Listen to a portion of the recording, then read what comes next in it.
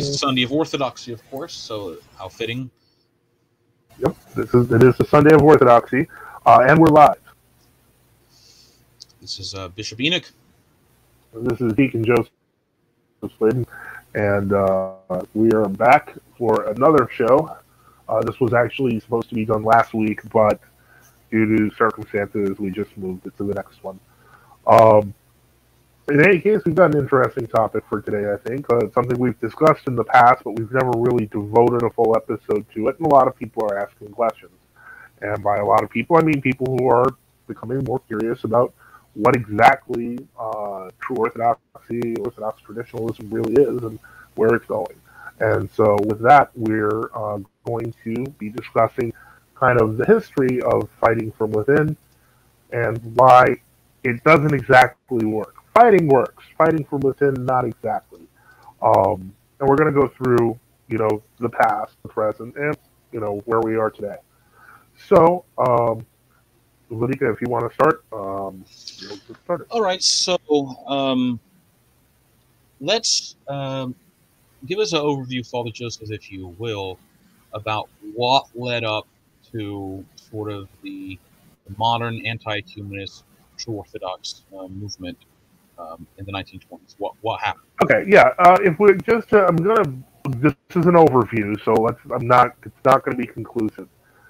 Uh, or you know, it's not going to be like a really. It's it's a, it's a survey. Um, basically, when you have the formation of the True Orthodox Church in 1924, it was originally just parishes, and those parishes were basically served by monks from Athos uh, when the calendar change occurred in 1924. And this state, uh, for lack of a better term, um, this was kind of the state it was until we get to uh, 1935 with the first declaration of the Church of Greece. Um, without getting too much into the whole Florinite Matthewite split, um, what happened was at this point, uh, now that the Orthodox Church of Greece had bishops, um, people, more and more people were joining. Um, by 1950, as I've mentioned many times, there were already a million uh, uh, true Orthodox in Greece, which would have been 12.5% of the population. Um, so basically, the first time you see kind of a glimpse of what would become uh, this uh, fighting from within uh, thinking, it's important to remember that Metropolitan Chrysostomos of Florina um, who was the public face of the synod um, at the time, was continually approached uh, by people who were on the new calendar and weren't happy about it. Even bishops contacted him, uh, mentioning that they would like to go back. And at one point, I think it was like two or three bishops did, and then they went back to the state church. But the point is that um, what happened was uh, Metropolitan Chrysostomos was dealing ultimately with uh, the question of how to receive uh, people and how to treat them. Uh, if one thing that's very famously remembered is that uh, when the church formed in, uh, you know, organized in 1935, immediately the new calendar hierarchy declared that their baptisms and their marriages were invalid. Uh, because of this, the old calendars then responded in kind. And Eunocism is mutually recognized most of the time. But the scenario in which Metropolitan Chrysostomos found himself later is a little bit more confusing because a few years had passed. Now suddenly people were much more interested in what he was um, what he was doing, and so one of the things that uh, they did is uh, they, you know, Metropolitan Chrysostomos in particular uh, would, in his correspondence, uh, talk about um, potential versus actual schism. Uh, and this potential versus actual schism is basically the root of where you get the fighting from within movement. Because what it ultimately does is it, it marks that unfortunate gray area between, um, you know, what is, if this person, did he fall away from orthodoxy because he was under a bishop for this long? Is that, you know, these sort of questions became front and center. Um, and so he was looking at it from that perspective unfortunately, that tramp kind of tramples over the basic concepts that schism and heresy separate you from the church. But being a bishop, he had his own responsibilities and his own difficulties with it. um, and how to deal with these people that were applying to come in, that were wanting to join. Um, and so ultimately, um, this led to the schism between the uh, Florinites and the Matthewites because the Matthewites were like, they, they basically were saying he was theologically wrong, and they weren't actually wrong on that, but one was speaking from the practice of economy, and one was speaking from the practice of strictness. And so the point is that, in a sense, that kind of would lead to where we get to 1950, um, and then finally um, where they reaffirmed that there was no grace in the new calendar uh, mysteries to appease the Matthewites, which only partially worked. Uh, we get to 1962, and basically all the old calendarists in Greece are in agreement that the new calendarists are without grace. The new calendarists are all in agreement that the old calendarists are without grace. This question does not pop up again until we get to um, the uh, Callisticism uh, in 1974, I want to say. Uh, but in any case, 77. 77, okay. 70, so, 79, actually. 79. Okay. Well, that was the Callisticism. Um, if you know about that, was a schism that took place under the leadership of Archbishop Auxentios, and to some degree, I mean, again, with the Matthewites, because it was one Matthewite bishop and one Florinite bishop who got together and made a whole new synod. Um, and from the synod comes Metropolitan Cyprian and the Synod in Resistance, um, who proposes. I think you should make, make you know, you talk about Callistos of Corinth and Anthony yes. of Megara, I believe. Correct. But I believe they were both previously have been Matthewites, and they in when uh, they had the correction ordination done for them at, at HTM by uh, Rocor, and then they then when the break between the Matthewites and Florinites happened again in '75, they they stayed with the Florinites actually. Okay, initially. all right, but and then they broke off and formed their own yes. synod. Yeah, yeah. And so this this was where we come into the thing with parallel hierarchies within uh, the Greek Orthodox Church, and this is ultimately where you start seeing the origin again of Metropolitan Cyprian's ecclesiology, which, if you may, which, if you think about it, in the 1970s, actually makes a great deal of sense because you can even apply that to other true Orthodox. It was just a very, very confusing time uh, with splits that were occurring um, throughout. But in any case, the point is, Metropolitan Cyprian was considered um, kind of influential uh, in this, and he his writings kind of they inspired people in um, in world orthodoxy uh, to try to uh, have to try to be ecclesial, ecclesiologically stronger.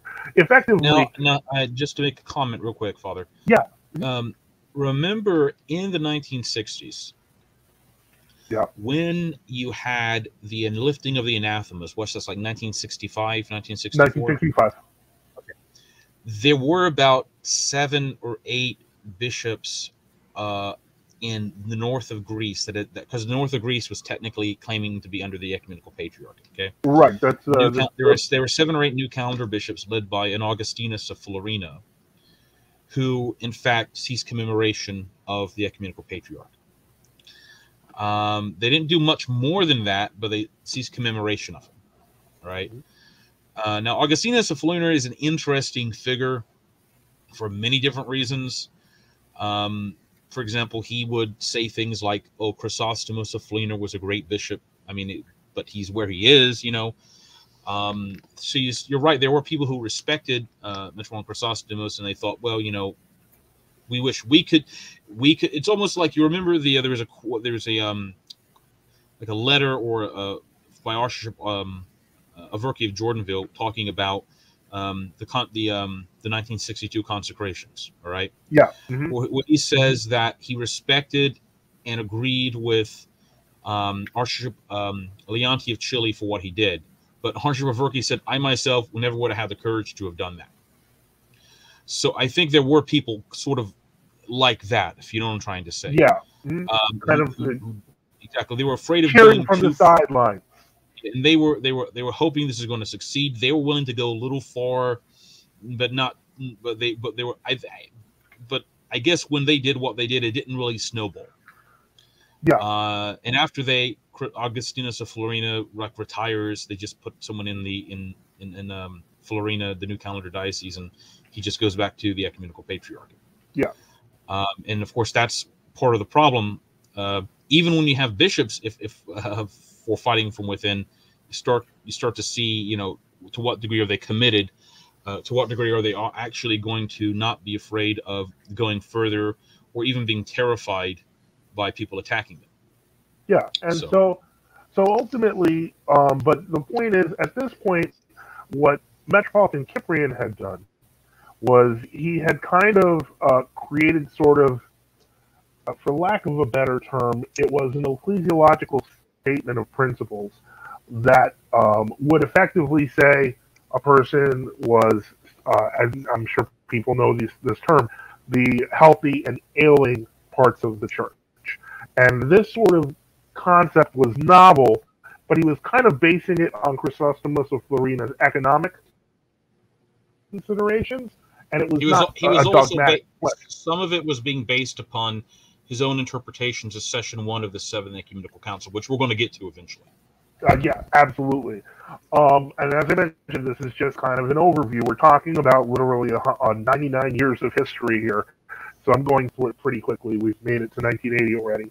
Um, the, but by and large, um, outside. By the way, we're only talking about the Greek. We're not. We're not even mentioning I mean, there, there's a wider history that involves Romania, Yeah, Russia, ROCOR, everything. All over This the place. Um, This is a very, Bulgaria. uh, uh, it's a very uni- Yeah. This is a very specific. Uh, uh, right. We're direction. using this as a, and we're using this as, and there's a reason for that, that I'm, I'm bringing this up, specifically the Greek situation. It's because the con, the writing of the ideas of Metropolitan Cyprian, and ultimately those ideas being spread um, by people like Archbishop Chrysostomos of Etna, um, would eventually introduce they'd introduce a novel concept And Father Ser- Oh. Father Seraphim Rose talked about Metropolitan Kyprianos uh, in his writing, his later writings. he was very positively disposed towards Yes. him. If I remember, they used to they used to celebrate together. Yes, so Um, can see that's why that had an influence in ROCOR. And and what's funny is that people don't even realize that that happened. That uh, Father Seraphim, you know, even for him considered being one of the moderates of ROCOR, was still communing with the Greek old calendars. No, they they never realized these things. But um, the point is that ultimately what happens there is that um, after um, you know there's we, we get from you know the Callisticism to we flip it over to the U.S. and you have uh, the 1985 uh, letter of Metropolitan Vitali, um, the Christmas 1986. kind of- Yeah, 1980 it's the like, 1986 Nativity Encyclical. Yes, but it was for yeah calendar. Yeah. It's published in the new, it was published in December of 1986, though. I. Right. Oh, was it? I thought it was published It was- September of 85. um, you can look. I think it was published in New Calendar December of 1986 in anticipation of Nativity, which would have been, you know, in, a- in a few weeks. where effectively he said kind of that the, the anathema against ecumenism was applied locally, which should not have been as big a deal as it was, um, because technically bishops have to apply things locally. They they don't apply things universally. Um, but the point is that it was enough to lead to what was now known as the HOCNA schism, in, you know, in 1986-87. Um, and so this kind of gives you an idea of what kind of how people moved. There, there was a very large anti-ecumenical contingent in the Now- HOCNA group, which was part Now, of ROCOR. Like- just one point, real quick. Mhm. Um, there was a letter in 1975 wherein the Matthewites sent a letter to ROCOR because remember, technically they're in communion at that point. Right. All right. Uh, and they asked what was the position of ROCOR on the um, new calendar churches. Mhm. Okay. And the reply given by the ROCOR Chancery, which the, the office reply I think was given by uh, then Proto Presbyter George Grabbe, was that um, and of course this is interesting that Father George would say it at the time. Was he saying this because it was the more or less def- the, the the only consensus position that he gave, as opposed to his own personal views, which I think were actually strong, more negative. He Yeah. said ROCOR did not feel at the time it had the right, absent an ecumenical council, to declare uh, the new calendar churches to be without grace. This- they had made grave errors. They refrained from concelebration, and they supported the old calendarists, but they didn't feel they could officially say something like that, like that they were without grace at the time. Uh, now that's interesting because it would obviously not. It, it's it's if you look at from the surviving writings of like Saint Philaret and others, it's obvious he had there he did not have a, a view of um, like the ecumenical Patriarch patriarchate being a church anymore. No, Right. he had a, an Um, extremely negative view. Yes. So and and, and so my assumption is that when Father George wrote that, he had to take into account the fact that they had all these Rocor bishops that had different, sometimes the same or sometimes different opinions. So what was the consensus view he could give? Right. Um, and I suspect that the reason the Matthewites wrote it was because of things like Anthony of Geneva, um, you know, people like that, and um, you know, and, and of course there may have been some, you know, I, I, there, there may have been some uh, significant degree of miscommunication when the Matthewites even entered in communion with ROCOR about what they actually thought ROCOR believed on these issues. And there are Mhm. some people who argue that HTM sort of, you know, intentionally presented only one side in the, in some sort of I don't almost like a scheme or something. Well, I would. The reason I think that that occurred, if you want my uh, my view on that, um, is that ultimately uh, Father Panteleimon didn't trust the uh, he didn't trust the Florinites. Frankly, um, he had written uh, it was a, like a thirty page document uh, on the Greek Old Calendar bishops to um, I, I don't know if it was to the synod uh, generally or to Metropolitan Philaret um, where it's like I think it was called a clarification, where he literally just goes off on all the existing old calendar bishops, uh, Greek bishops in the U.S. and talks about what frauds they are, etc. Because he has an incredibly low opinion of them at this time, and so uh, this is kind of why Except he liked the Matthewites. he did like the Matthewites, and that's exactly the point. But ultimately, um, at the time, so he was, you know, I guess you could say, kind of instrumental of uh, in that kind of moving a lot of people in that direction, and so that's part of the reason why uh, why that was. It, you know, remember remember there's also the uh the the heavily doctored letter of archbishop seraphim of chicago that later that later got ex- father seraphim talks about that that got exposed. And people don't really remember this anymore. There's a letter of archbishop seraphim of chicago where it's supposedly a highly critical of archbishop Auxentios is addressed to him uh, yeah, I've seen that letter, but, but I'm confused. well, according to that Father. Seraphim Rose, yeah, well, according to uh, Father Seraphim Rose, and according to another document from Archbishop Seraphim later, the letter he said is it's it's- it's not at all what it's not at all what he said. Someone mistranslated significant parts of it and added things to it. Um, Shame we now- don't have the Russian original. Mm, I mean, I suspect it was. It, I suspect it was. Uh, you know, something going on in Boston. That was. You know, that's my not my suspicion. But anyway, Well, anyway, okay, it's not to veer too much off the topic, but the, the whole point is that um, whereas a lot of people in that true Orthodox, either who were true Orthodox or heading in that direction, held to the the basic Orthodox ecclesiology of, you know, schism and heresy divide you out of the church. Um, there was this new kind of theology that, uh, or ecclesiology that um, Metropolitan Cyprian had, I would even say, inadvertently created, um, that caused a lot of people, uh, especially in the official churches, to think, well, okay, I think I'm Orthodox, I'm healthy, and it's obvious my bishop is sick. Things like this. Like people began to get weirder and weirder ideas, and this is ultimately where this fighting from within kind of movement really begins. Um, it begins with basically Metropolitan Cyprian's ideas, then filtering their way into World Orthodoxy. Um, and so this became even more and more apparent, especially as uh, the Rocor Union slowly, um, with the Moscow Patriarchate, slowly started taking shape. At one point, it's I wish I had that, but there was a letter. Um, I believe it was, I believe it was uh, from uh, Archbishop Chrysostomos of Etna, where basically uh, he's saying it's nice that you're talking to the Moscow Patriarchate and all, but uh, we didn't actually mean union with them. Like that, that's a bad idea, and we don't agree with it.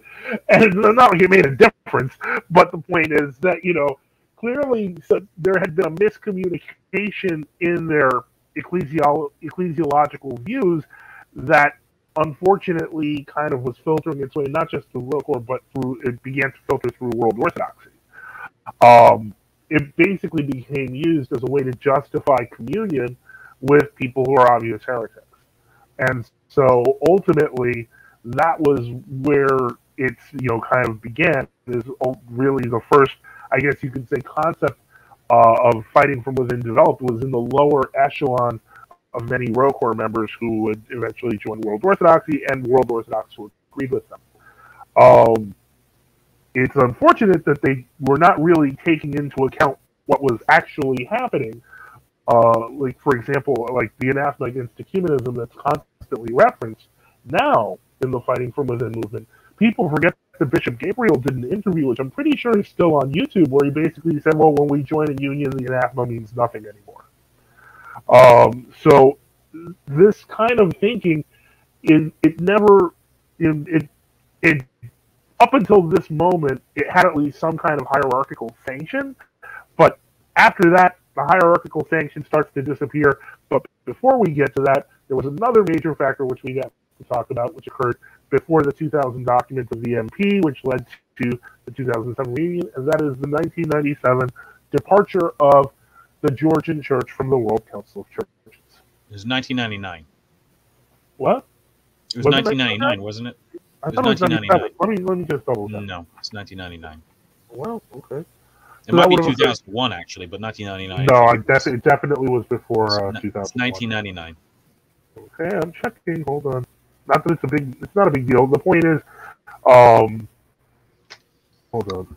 Anyway, the point is that ultimately, um, ultimately, Georgia's departure from the World Council of Churches was in fact a response to um, was in fact a response to a growing uh, movement of monks and clergy who basically uh, were starting to organize another counter church, basically a Orthodox Church of Georgia, which had sanctioned. Um, no, you're right. It's 1997. Okay. Um, as I said, it's not relevant. But the point is that um, ultimately HOCNA was sponsoring this. So these clergy were going to basically create a parallel hierarchy in Georgia. And ba- Patriarch Ilia saw that so many people were behind it. At one point, it was literally dozens upon dozens of monks and clergy uh, that he knew that he'd be dealing with a very big problem. He thought, what's the easiest and quickest solution? Even though he, it, he had been a committed ecumenist, in 1997, he said, That's it. We have to pull out of the World Council of Churches. I don't want a division of the church. That's exactly what they did. And uh, it actually turned out positive for them. It actually worked out well in terms of the church getting back credibility and respect, whereas a lot of other churches were not. That said, um, one of the things that we I want to talk about, and we probably should do this after we talk about the Seventh Council, is um, the fact that uh, the fact that the reason why it's difficult to work in a fighting from within environment is because of the fact that there is an enmeshed um, there's an enmeshed hierarchical structure that will not allow it. Um, and I, we'll go more into that in a little bit. But ultimately, so really, once you get to 1997, you see this whole, uh, this whole, uh, I guess you could say, kind of pulling out of the World Council of Churches. I don't know how practical it was in terms of um, actual change, but it did make enough of a difference that the uh, in Georgia uh, there was no real. Um, it's a very it's a relatively small group of true Orthodox in Georgia, um, and so that has worked out in their favor. So this is why every time people actually walk away from doing ecumenical stuff, um, it actually works out well for them. And uh, let me see here. Okay, I didn't see this. What what is this? This is uh, hold on. This is let's see here. Yeah, ultimately, I mean, there was there was uh, stuff written by um, there was stuff written in the uh, Synod of Resistance's uh, documents that uh, Bishop Enoch was showing you. Did you want me to share this? Uh, you mean the Church of Georgia in the WCC article? Yeah. Mm-hmm. Sure. Okay, one moment.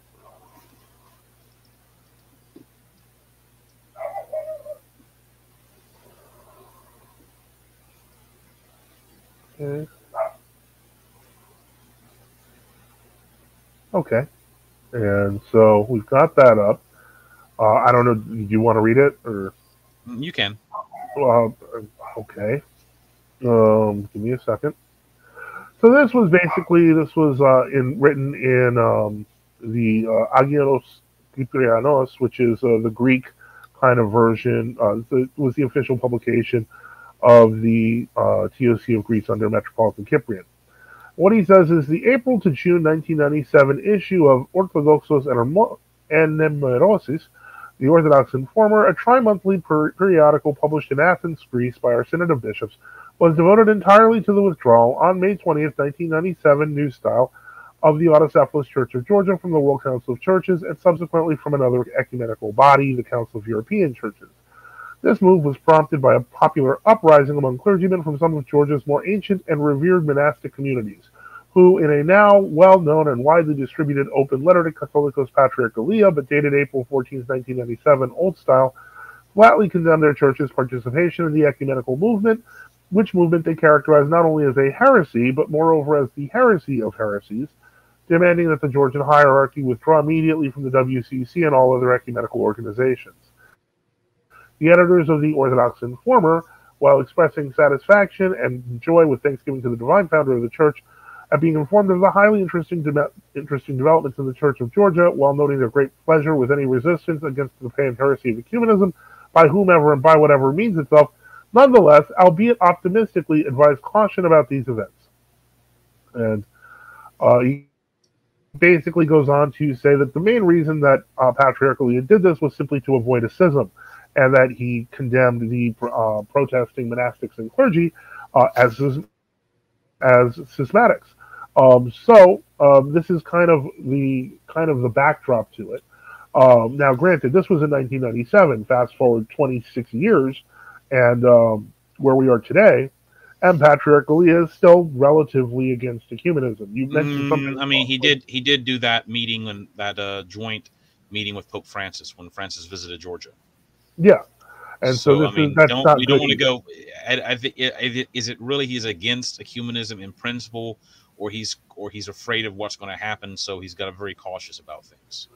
I think that it's, it's always hope. So I mean, in, in yeah, I mean, it's, church they have cautious. a concert and light candles together. So there, there is still significant problems going on there to be. Yeah. And so basically, one of the things that uh, that's one of the things to keep in mind is that you would think that after 26 years by now there'd be an entire generation of anti-ecumenists, etc., uh, people who are ready to take on the mantle, but that's not what you find what you find is that in the seminaries, uh, they're still teaching Western liberal uh, ideas um, and ecumenical and modernist ideas. And effectively, most of the people who are in who are in these seminaries, from the um, from the uh, hierarchy to the students, are simply waiting for Patriarch Ilia to die. So it's not a realistic assessment to say that they're really uh, fighting ecumenism you know, from within, because really the only one who's said anything about it and half-heartedly is Patriarch Ilia, and pulled out of the WCC and the CEC. But um, unfortunately, that is not really enough. Um, hold on. Um, give me a second. That is not really enough to um, to keep uh, stave off the rising tide of heresy. Ultimately, you have to have a point. You have to actually have a a feasible plan to begin with. Right. And, and if so, you don't have the hierarchy on your side, you don't have a feasible plan of of taking over a local church. Exactly. And so this is kind of where um, a lot of this is kind of where a lot of people uh, became very um, kind of big on uh, the fighting from within concept around the 1997 1998 period because uh, it was also around the time that you know some contacts between ROCOR and the MPN uh, started really heating up. Um, and so ultimately, fighting from within looked like, like a really good idea because, shoot, if the Patriarch of Georgia is doing it, everyone's going to join. That's not what happened. Um, and so ultimately, this is kind of where the proper fighting from within movement really begins. Um, I would say that probably one of its, as I mentioned before, unfortunately, one of its notable, one of the notable people pushing it was formerly part of the Melanson, and that would be uh, Archbishop Lazar Puhalo. Um, and so his kind of guidance to people was ultimately a sort of fighting from within, and he ended up retiring in the OCA. Um, but past that, it's really not really, uh, I guess you could say, a largely noteworthy movement. There was a reader uh, who was very well known in the U.S., but he became a liberal um, almost immediately after he left. Uh, past that, ultimately, fighting from within was kind of a kind of a grassroots movement, but it never had much uh, hierarchy. It had no hierarchical support and very little priestly support. Uh, so when we enter into the age of you know kind of YouTube and you know social media, um, you know we find Father Peter Heers' work is probably the best known fighting from within work, and he does fantastic work in terms of his texts and stuff like that. But if you're wondering, in in a normal world, Father Peter would probably be welcomed at any church he went to. But that we don't live in a normal world; we live in this one, and in this one, ultimately he has to, you know, kind of sneak his way into the ROCOR, and that's where we are. Um, I don't. Do you have uh, thoughts on this, uh, Uh, no, no. I mean, I just um, no. I mean, you're. This is the problem with the fighting from with. They have simply no support, hierarchical support. At least the hierarchical support they have is is extremely tepid and cautious. They might in in Greece they might be able to point to, um, what's his name, um, Seraphim of Piraeus. Yeah, but even he was a lot. Like, no one trusts him because of the COVID thing. Yeah, he he basically excommunicated people who refused to take the COVID vaccine. Mm-hmm. Uh, he has strange uh, views where he basically denied that Our Lady was bought after her death was was resurrected and bodily assumed into heaven. He's just like, well, who knows where the Theotokos body is? I mean, he's just he made some statement where he said he doesn't believe in transubstantiation. I mean, it's just really? some of these people. Yeah, I mean, yeah, it's, it's some of these people are very, uh, to say the least, um, heretical in other in other in other ways. Well, there was the other case of that one Moscow Patriarchate bishop who, uh, you know, he. Uh, well, he turned out to be a Slavist. Well, he became an Imiaslavist anyway. He became an Uh, yeah, because that started like that a year happening. later. Yeah, so in any case, that was you know another example. So really, the few examples you can find of bishops who could support it usually have their own problems and ultimately. I mean, the one closest would have been the Moscow Patriarch Bishop in southern Ukraine, um, uh, Long, uh, Longin. Uh, Longin of yeah. I can't remember the diet, the see he was uh, he was bishop of. It was actually a newly created see that they just they stuck him in because no one wanted it and that's sort of how these these people in World Orthodoxy get by. That they're like some obscure, you know, hieromonk who they're like, oh well, let's just put this, let's make hieromonk so and so bishop of this like newly created place that nobody right. wants. And he he becomes successful because nobody wants it. He, you know, he's actually a sincere person. He built like a lot of orphanages. He he was, you know, I think he actually is like half Romanian, uh, Moldovan yeah. or whatever. Uh, and uh, what happened with him is he uh, he was pretty serious, and he said like this whole ecumenism thing is, is, is evil.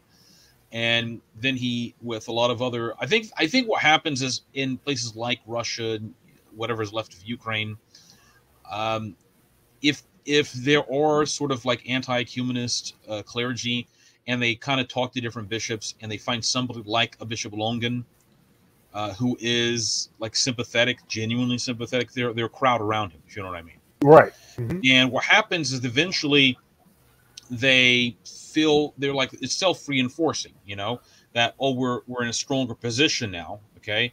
And you know, if it's not just you by yourself out in the middle of nowhere, you don't, you know, you you feel you don't you don't uh you don't think you're by yourself. And so I think at one point he said he ceases commemoration of the patriarch.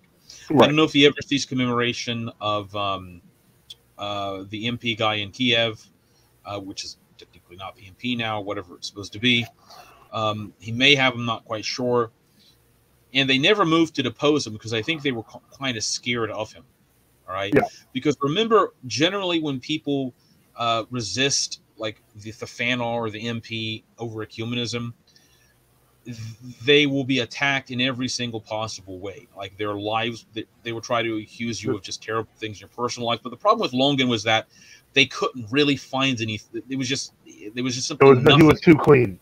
Exactly. There was just nothing he said. It was, and the fact is, what you got some guy who is like he literally had like a hundred adopted children. Yeah. Orphanages. Uh, are they going to? I mean, if they had attacked him politically, it would have been absolute suicide. So they simply, in that case, they left him alone. Something happened. I don't know how or when, where they eventually, I guess, reconciled. Yeah. I don't know if he. I, I, I think he agreed. I don't know if he ever agreed. Well, at this point, none of none of the U. Uh, most of the US UOC-MP bishops aren't commemorating Kirill anyway.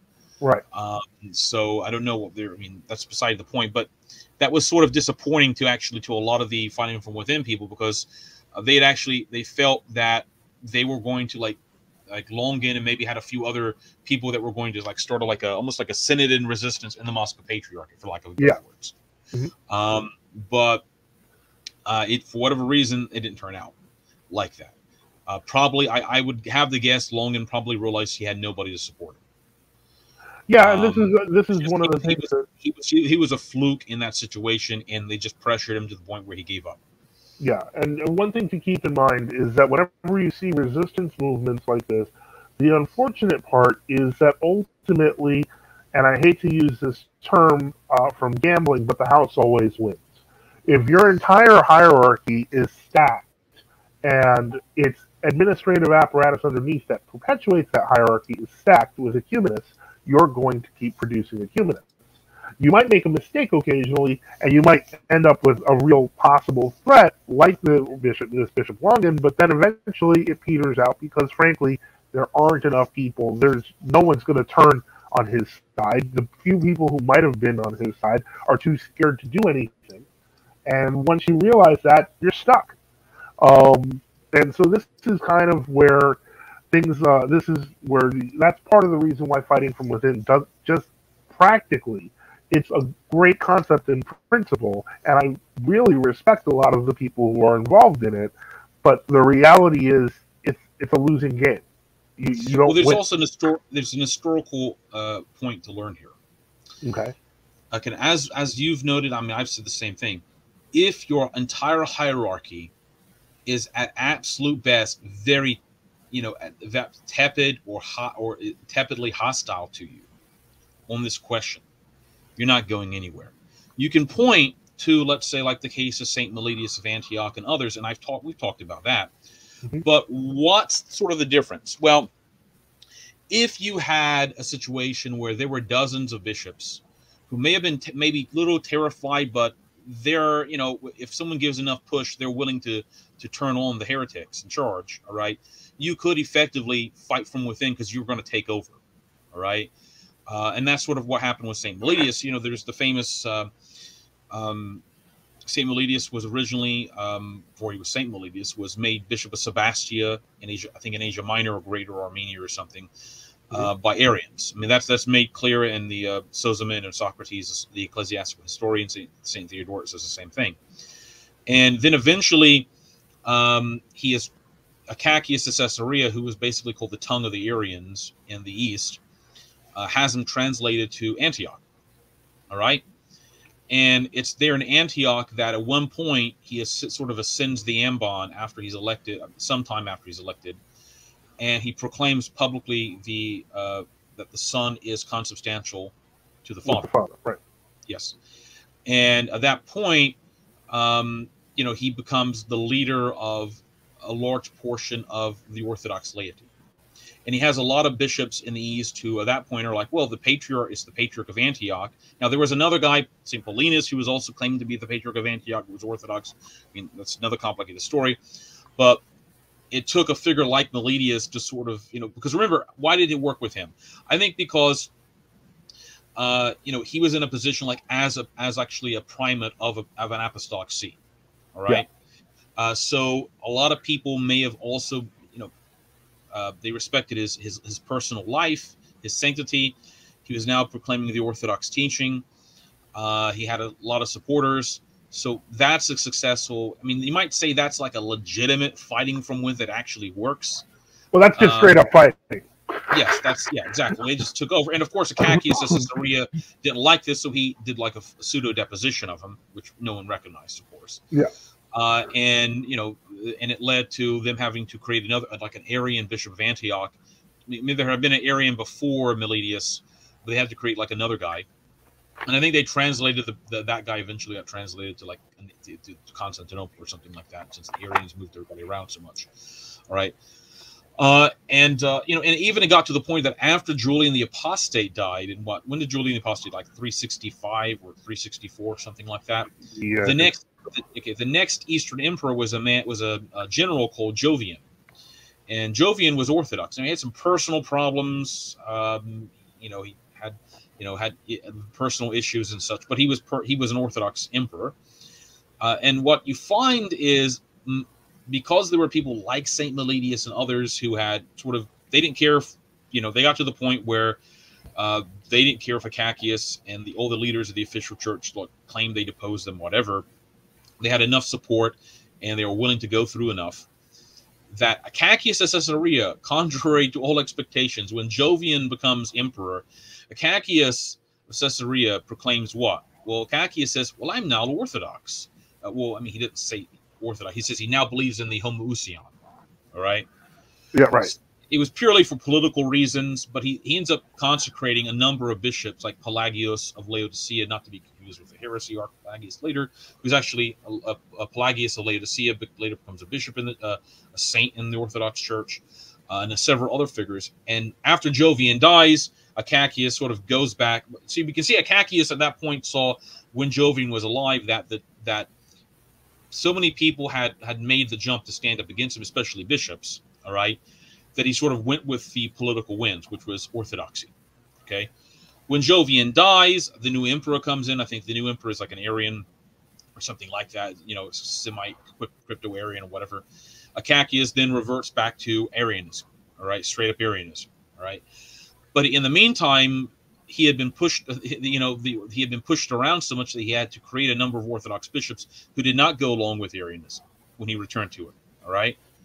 Uh, so you can see how even in, and remember, the reason St. Meletius of Antioch was elected and the reason Acacius did all this wasn't just because of Jovian.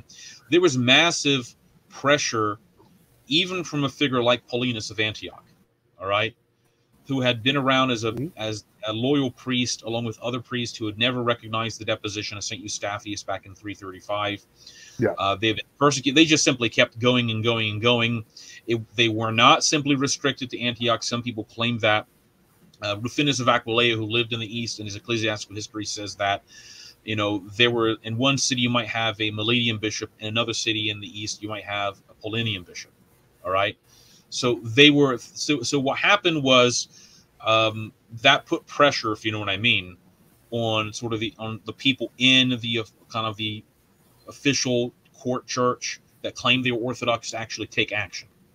All yeah. right, and those people took action. It sort of snowballed, and eventually we get to the Second Ecumenical Council, which is partially not just to condemn Macedonian heresy and Apollinarianism, but also reconcile these different Orthodox parties. All right. Yeah. So that that sort of, I mean, an exam. I mean, it, it, and it mostly worked. There were some problems after that in the 380s and 90s and such. It still continued, but you can see how that situation turned out. All right. Uh, another example, um, in uh, the iconoclast heresy and schism. All right. So Iconoclasts are anathematized by the Church of Old Rome in 729. They're anathematized again in 731. There's actually a, a more formal council held in 731 in Rome. Uh, that's held in the uh, November 1st. That's actually the we think the origin of the uh, reason for the change of the feast of All Saints in Rome from like May 26th to November 1st. People erroneously say that All Saints was celebrated November 1st, first as like it was somehow related to the Irish Old Samhain, which is totally fallacious. There's no evidence about that, by the way. Um, so uh, the iconoclasts were declared to be schism and, her- and schism and heresy. Antioch, Jerusalem, Alexandria in the 730s and 40s had similar councils. Rome held had like, something like two or three extra councils over the years. Like every decade, they hold a council anathematizing um, Constantinople as a, a iconoclast and schismatic during the uh, iconoclast heresy. Well, what happens is um, around 780, I believe, there is a um, a Cypriot priest, Cypriot, Cypriot priest who uh, somehow ends up in Constantinople. All right, and uh, he is elected and chosen by the iconoclasts in the imperial government to be Patriarch of Constantinople. All right, and this is called this is man's called Patriarch Paul IV. Well, if you, uh, I can um, read a bit. Yes. Hold okay.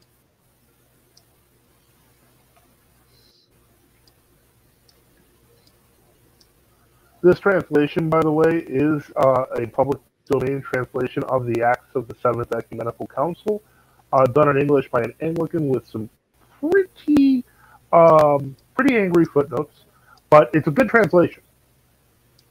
Okay. All right. Um. Okay. Is it scrolling down as I scroll down? Yes, it is. Okay. Can you make it a little bit? Can we? Can we? Can I make it a little bit bigger? Let me see. if I can. Um. Is it getting bigger? Uh, Oh, yeah. Oh, very good, very good. Okay. All right. So this is the letter of Saint Tarasius. Um, I believe it's the letter he wrote to Pope Saint Adrian, explaining the situation, why they need to call the council, the Seventh Ecumenical Council. Okay. For when the most holy patriarch Paul, that's who we're talking about, by the divine will, was about to be liberated from the bands of mortality and ex- to exchange his earthly pilgrimage for a heavenly home with his master Christ, he abdicated the patriarchate. This is around 785 he did this, and took upon him the monastic life. And when we asked him, Why hast thou done this? he answered, Because I fear that, if death should surprise me still in the episcopate of this royal and heaven defended city, Constantinople, I should have to carry with me the anathema of the whole Catholic Church, which consigns me to that outer darkness which is prepared for the devil and his angels. For they say that a certain synod hath been held here in order to the subversion of pictures and images, which the church receives, retains, and worships, or venerates. Older translation just means venerates, by the way, in memory of the persons whom they represent. This is that which distracts my soul. This is that which makes me anxious to inquire how I may escape the judgment of God, since among all since among such men I have been brought up, and with such am I numbered. Then St. Tarasius says, No sooner had he thus spoken in the presence of some of the most illustrious nobles than he expired. The background is this Patriarch Paul IV becomes patriarch. He, he, as he gets near the end of his life, he realizes that this whole iconoclasm thing, it's, it's, a, we're in schism and heresy. All right. He, he, he can't, he can't serve anymore. He retires and joins a monastery, probably one of those connected to the studio. Many of the monasteries in uh, in Asia Minor actually were uh, never in communion with the iconoclasts, so they were sort of separated from them. So um, there's other accounts that says the emperor, like Saint Tarasius at this time, by the way, was like I think a military commander of some sort. Uh, the empress, the senate went out to visit him, the nobles that he talks about, and this is the answer he gave. He said, "Look, I, we're in, we're in schism and heresy, and I'm not going. I can't I can't continue to serve in this condition." All right, and then he dies. All right. Uh, when our pious sovereignty reflect, reflected on this awful declaration, okay, so this is actually the imperial letter, by the way. Uh, we took counsel with ourselves as to what ought to be done. And we determined after mature deliberations that when a new patriarch had been elected, we should endeavor to bring this subject, okay, down past the absurd note, to some decisive conclusion. Where having summoned those whom we knew to be most experienced in ecclesiastical matters, and having called upon Christ our God, we consulted with them who was worthy, uh, them who was worthy to be exalted to the chair of the priesthood of this royal and heaven defend the city, and they all with one heart and soul gave their vote in favor of Tarasius. He who now occupies the pontifical presidency, having therefore sent for him, we laid before him our deliberations and our vote, but he would by no means consent nor at all yield to that which had been determined. And when we, that, that's the emperors, uh, inquired wherefore he thus refused his consent, at first he answered evasively that the yoke of the chief priesthood was too much for him.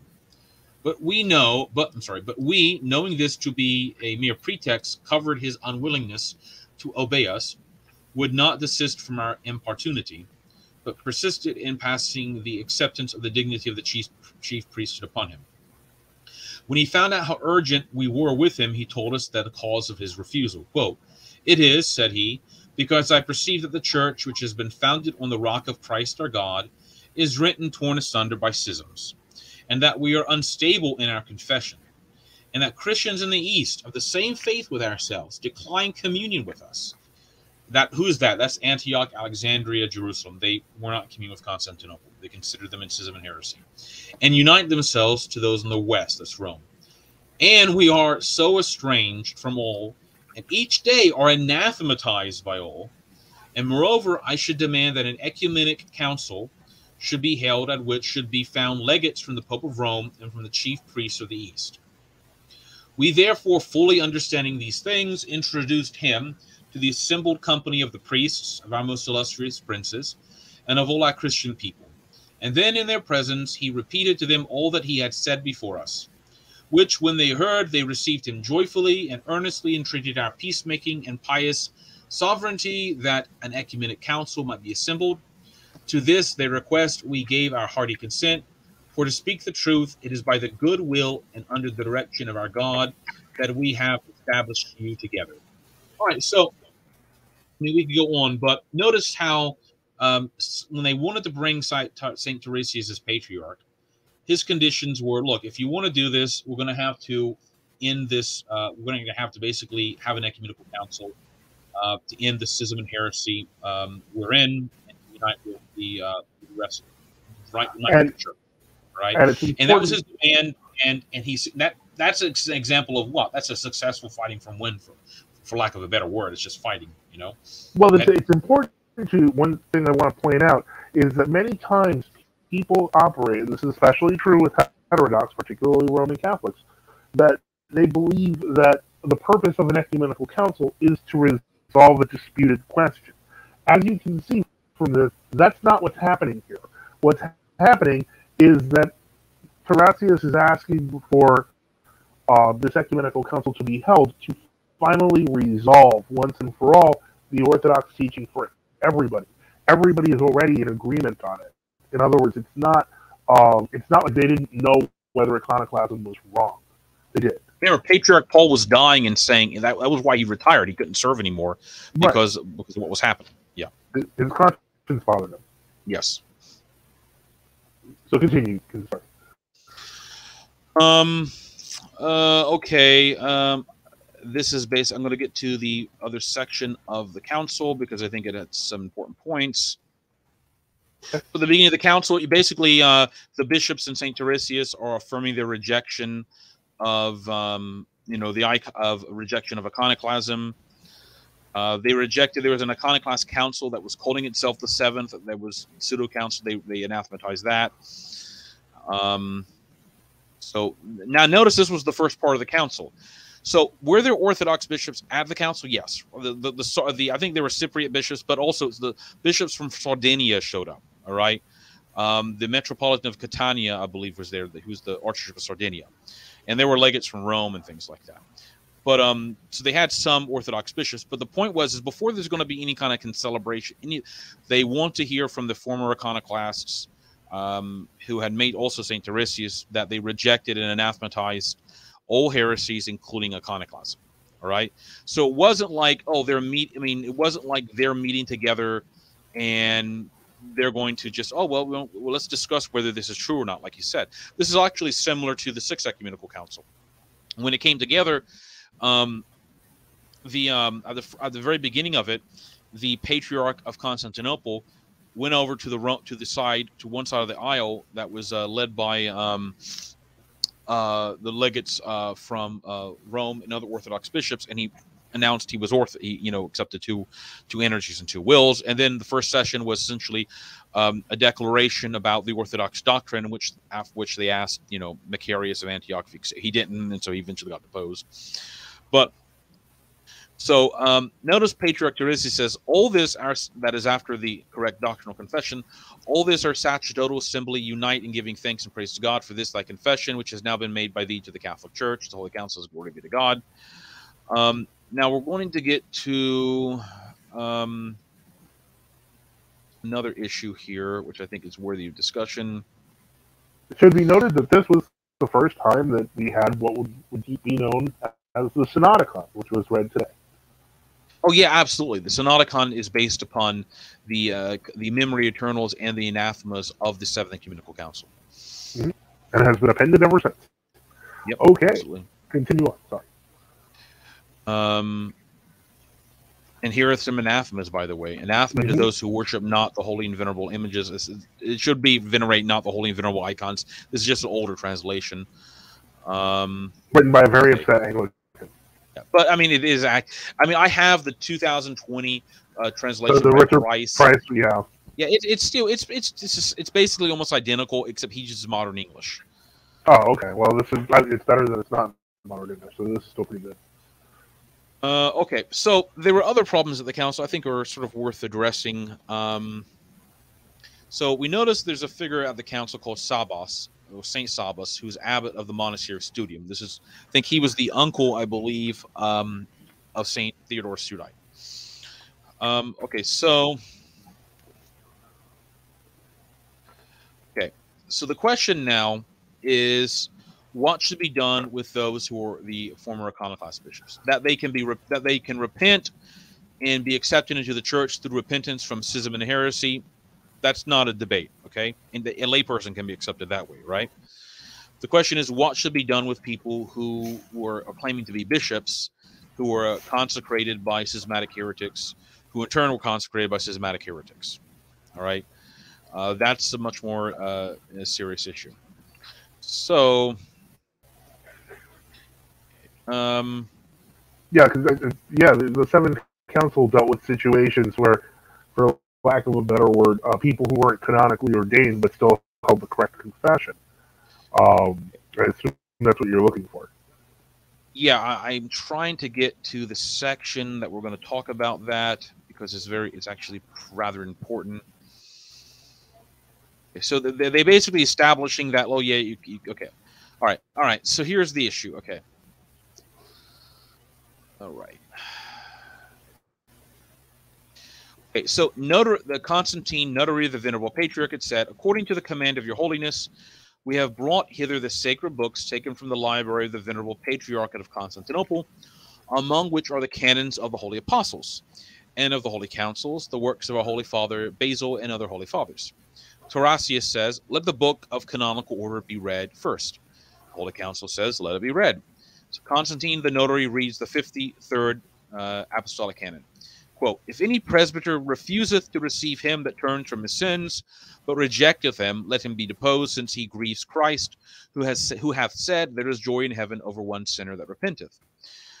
The Sabas and the monks said, This is manifest and admitted by all, that the church admits every one who is penitent. Tarasius, there is another canon on this point. Constantine the notary reads the eighth canon of the, of the Council of Nicaea. With respect to those who call themselves Cathari, that's the Novatians, by the way, not to be confused with the Cathars of the 12th century. With respect to those who call themselves Cathari, Cathari, if they come over to the Catholic and Apostolic Church, the Holy Council decrees that they who are ordained shall, res- shall remain in the order of the clergy, but that first of all, it is requisite that they profess in writing that they will agree to and follow the decrees of the Catholic Church. That is, that they will communicate with those who have married again and with those who have lapsed in time of persecution, who have a time given in a term fixed for their penance, and that they will, in every other respect, follow the doctrine of the Catholic and Apostolic Church, and that when in any town or village they alone are found to be ordained, they who are among the clergy should remain in the same order. Theodore, Bishop of Catania, uh, that's I believe he was uh, the primate of, of uh, the Orthodox bishops of Sardinia, says the canon now read, read hath no relation to heresy. So, you know, they're talking about this. Tarasius nay, says, nay, it refers to every heresy.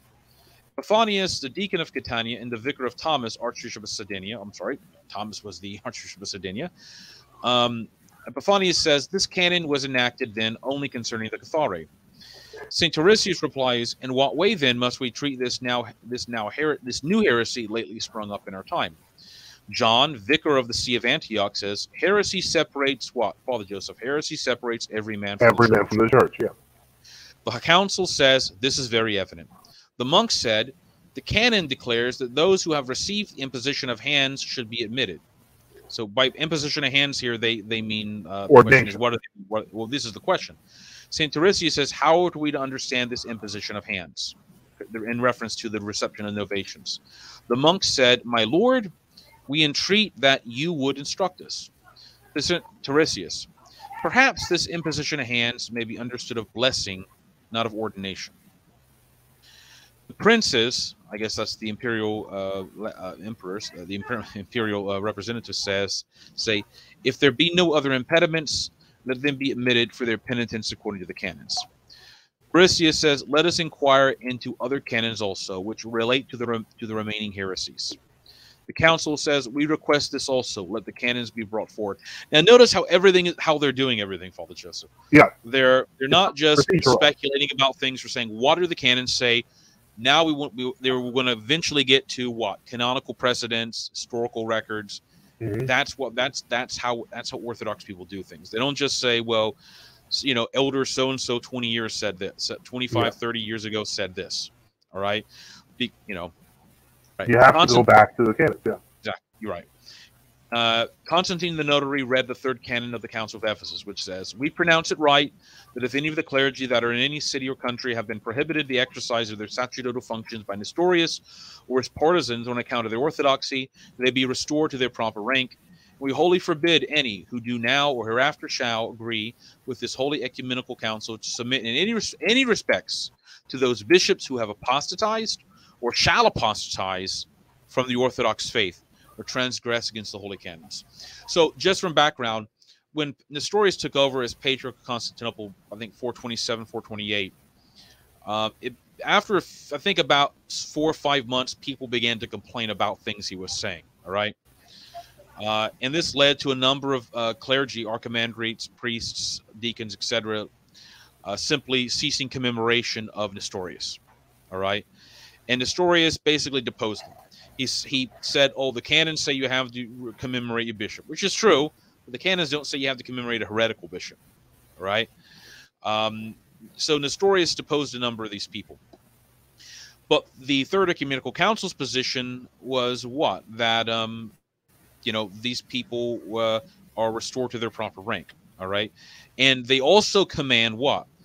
They also command that no one in the future is to submit in any respect to those bishops who have apostatized or in the future that's shall shall apostatize from the orthodox faith or even transgress against the holy canons all right?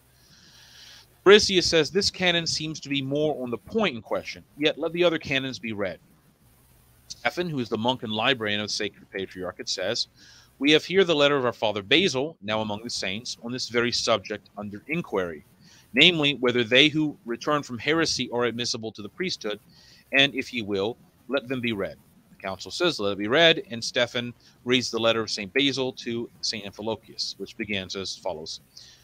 We ought to consider the malignity of the Encratites. Encratites were, heres- were a group of uh, schismatic heretics that date back as to the mid-century, second century. They come from Tatian. Um, they generally were orthodox in their doctrine, like on the Trinity, I believe, uh, and a number of other points. But they, they, I think they held views like you should only use water in the Eucharist, or you shouldn't eat meat. Right, because they were they were against meat and wine. Yeah, exactly. Um, so. Yeah, exactly. And they, yeah, um, but uh, they weren't. I mean, they were heretics, but they and schismatics, but they're they weren't like Arians or something like that. All right. So that question is, how do you treat this group? So St. Basil says we ought to consider the malignity of the Encratites, who, in order to render themselves inadmissible to the church, have endeavored to be beforehand with her by a baptism of their own. And in so doing, they have transgressed their own rule. As there is not at present anything openly determined concerning them, I give it as my opinion that we ought not to omit their baptism. Um, now, but uh, if anybody ever comes out and says, "Well, there are other heresies, the Encratites," okay, fine. I'm, I'm not. I, I just believe. I don't think they had a Trinitarian heresy. I don't think. No, Saint Basil's Saint Basil's position is that there was no other previous determination, so I'm just going to say baptize them all. Okay, but to baptize all who have been received by them, who when they come to the Catholic Church. But if our regulation, what's that economia, okay, be at all likely to interfere with the Catholic Church we must resort again to the former custom I'm sorry, there were former there was a former custom, okay, and follow the rules which the holy fathers have handed down to us. For I am afraid lest while we are endeavoring to discourage their baptism, that is discourage um, uh, to, to condemn their baptism, we should prove any hindrance to those who might be saved by the severity of our sentence. But if they respect our baptism, this must not move us, since we are not bound so much to return the obligation as accurately to observe the canons. This rule we must by all means most carefully observe, namely, that everyone who comes over to us from their baptism must be anointed by the faithful and so approach the mysteries. I know that we have admitted to the episcopal chair brethren who were of the party of Avizois and Saturninus, even though they had been ordained by them. And I think, uh, therefore, that we have no longer at that we are no longer at liberty to separate from the church those who have been in communion with them, since we have made a kind of order for their admission to communion by the reception of their bishops. Um, so I think St. Basil says that look, he prefer baptizing the Encratites, but if if this sort of severe, if this uh, you might say akriveia, is in any way hindering con- significant conversions of Encratites, then anointing with chrism is, is acceptable. All right. Yeah. Um, he talks about Izoas and Saturninus. They're Arians. Uh, that's Izoas of they were they were ordained by Acacius of Caesarea, I think. Acacius of Caesarea, by the way, was deposed by the Council of Sardica in 344. Um, that Council of Sardica is was a pan was on was a, is a council. It's not it's never called an ecumenical council, uh, but it's it was it's in the Pedalion. It was accepted by the Orthodox East and West. It's yeah, it's pan Exactly. So when people say, "Well, Acacius, he could still do ordinations because he was just publicly preaching Arius and hadn't been deposed," well, no, no, no. Acacius had been deposed by Sardica. Uh, both Saint Hilary of Poitiers, Saint Athanasius, Saint Theodoret all record that. All right, we have the acts. All right, so he was deposed. Um, but notice that they had uh, made a kind of order for the admission to communion of of basically Arian bishops, right. who were so-called bishops, all right, without necessarily reordaining them. Um, and this is why this is being brought up. Okay, so the monk said, "We entreat that the letter of Saint Athanasius to Ruffinian be brought." Council says, "Let it be brought." Um, in the meantime, I guess so. That so what you're if you read the Acts, it says, "Let it be brought according to the request of the most holy, most religious monks." It says during the interval. So this is like an. You, they have to get it out of the library. Yeah, exactly. They're having to go to get it, get it out of the library. Yeah. So in, during the interval, Leontius oh, the second said, "Well, in the meantime, see, yeah, yeah. In the in the meantime, let the other epistles of Saint Basil be read." All right. So all right. Stephen the librarian read from the epistle of a holy Father Basil to the uh, Evaesenians. Quote St. Basil says, Those whom last year they sent for uh, sent for from Galatia, sorry, I don't have my glasses with me, that by their means they might obtain the confidence of the bishops, were such as might easily be discerned on a very slight acquaintance with them. And shortly after, quote, if they say that they have repented, let them exhibit in writing their repentance and their anathema of the faith of Constantinople. That's because Constantinople was controlled by Arians at the time and their separation from heretics, and let them not deceive the simple. Also from the epistle of St. Basil to the bishops of the West, quote, There is one of them that hath caused us so much vexa- us, us much vexation. I mean Eustathius, bishop of Sebastia in Lesser Armenia. He was at first a disciple of Arius, at a time when he was in the height of his celebrity at Alexandria, constructing his malignant blasphemies against the only begotten Son of God, and was attached to him as one of his most decided followers. On his return to his own country, however, this Eustathius offered a confession of sound faith to Hermogenes, the most blessed bishop of Caesarea, who had condemned him for his impious opinion. And then, though he was consecrated by him, yet no sooner was Hermogenes dead than he hastens to Eusebius, bishop of Constantinople, who was inferior to none in the vigor with which he upheld the impieties of Arius. Being, however, for some cause or other expelled from that place, he once more returned to his own country and again made an apology for his conduct, veiling the impiety of his real sentiments under the guise of orthodoxy, and in this way obtained his bishopric. But no sooner had he obtained it than it appeared that he had subscribed the anathema against the homoousion, that's the orthodox doctrine, at the conventicle held at Ancyra, and, and that from thence he hastened to Seleucia And what things he and his party did there, everyone knows. And after that, he again declared his agreement to the propositions of the heretics of Constantinople. Wherefore he was again ejected from his bishopric on the ground of a prior ejectment at Melitene. And the only way of restoration which seemed left to him was an appeal to you, that is to the bishops of the West. All right. But what now? Now Saint Basil, just to stop here, is writing this to the bishops of the West because he's saying, look, a lot of Arians who get who have been deposed, or you know, they came to us, they lied to us, we, we made them bishops, we deposed them, all right, or something like that they're now appealing to people in the West because why? They're nobody really quite has uh, understanding of all the affairs happening. All right. St. Basil was trying to say, look, don't don't have anything to do with these people. But what may be the determination of Liberius of Rome towards him, or what he may choose to say for himself, I do not pretend to affirm. All I know is that he has taken with him the same letter of restoration, which having exhibited at the Synod of Tyana, he recovered his dignity. So um, the, context behind this again is many of these like Arian bishops, I think after Julian the Apostate died or something, kind of went to Rome. Uh, they kind of convinced Saint Liberius to, you know, a lot of them came and said, "Oh, we accept the Nicene Creed." All right, that's just how they how they acted. Uh, Saint Liberius said, "Well, that's great. Okay, now you're in communion with me." All right. Well, Saint Basil, technically, as far as I understand, he may have been on friendly terms with the bishops of West, but he wasn't really at that point in communion with Rome or Alexandria. All right, so he's sort of in that position warning them. Um, but this is causing problems for St. Basil because there are now these bishops who are Arians who come know, back and claim that they have Rome support. Yeah, exactly. And and they're and they're and they're Orthodox now. They'll be Arian tomorrow. In other words, all right. Uh, so uh, that's the end of that letter. Okay. Then the Acts continued. There was read also another epistle of the same father to Count Terentius. I think we've talked about that in another uh, letter uh, show. Yeah, we have. In which in which he declares that he had received and communicated with this Eustathius on his return from heresy. All right. Uh, Stephen, the notary, uh, read from the definition of the Third Ecumenical Council against the impious Massalians or Euchites, saying, It hath seemed good to us and to the most reverend Valerian and Amphilochius and to all the bishops of the province of Lycaonia and Pamphylia that all things written in the synodical chart shall not be enforced. Uh, shall be enforced, I'm sorry, and by no means be transgressed, and that the decrees from Alexandria also shall be in like manner confirmed. Wherefore, we will that all in every province who actually belong to the sect of the Massalians, that is, the enthusiasts, or all who have may be suspected of laboring under this disease, whether clerics or laymen, be assembled together, and if they then anathematize the heresy according to the above mentioned synodical chart, that those who are in orders retain their orders, and that the laymen be received in communion with the church.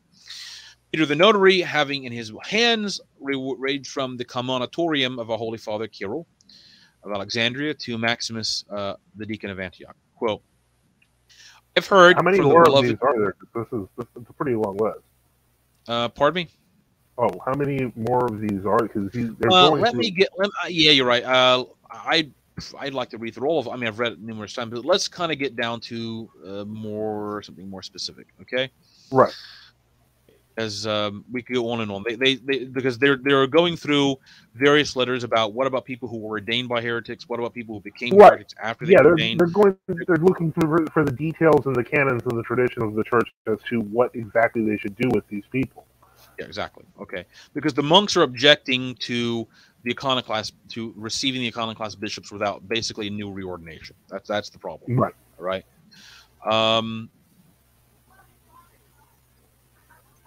okay, so the monks. So after all this, there's there's another letter. He's, the monks say, "See, as we have said before, the fathers admit none to the priesthood who have returned from heresy." Tarasius says, "It is not as you suppose." For the Father does not admit, he's talking about, I think, St. Athanasius to Ruffinian, does not admit to the priesthood those who, not having originated heresy, they were not the originators of heresy, but were seduced or violently drawn asunder or aside. Okay. Well, he excludes those only who were the actual originators or violent promoters of the same. So, in other words, if you're the guy who starts the heresy or the schism, the church generally is not is once you're deposed, they're not they're not taking you back. Right. Right. If you're the second or third generation of schismatic or heretics, and you kind of kept that outward form of ordination, there is there is some leniency through economy for being used there. Doesn't mean we recognize the orders, but there is there is leniency. All right. Uh, I think uh, we could go through all of this, but I think if somebody is really interested, they should, if they're really serious about these questions, they need to read the first session of the Seventh Ecumenical Council. I've, I've, I've told people that before. For some reason, um, a lot of people want to talk about the issue without reading this. This is, in fact, the highest. We can say this is the highest level discussion ever held in the Orthodox Church. Uh, the, the, the first yeah. session of this matter.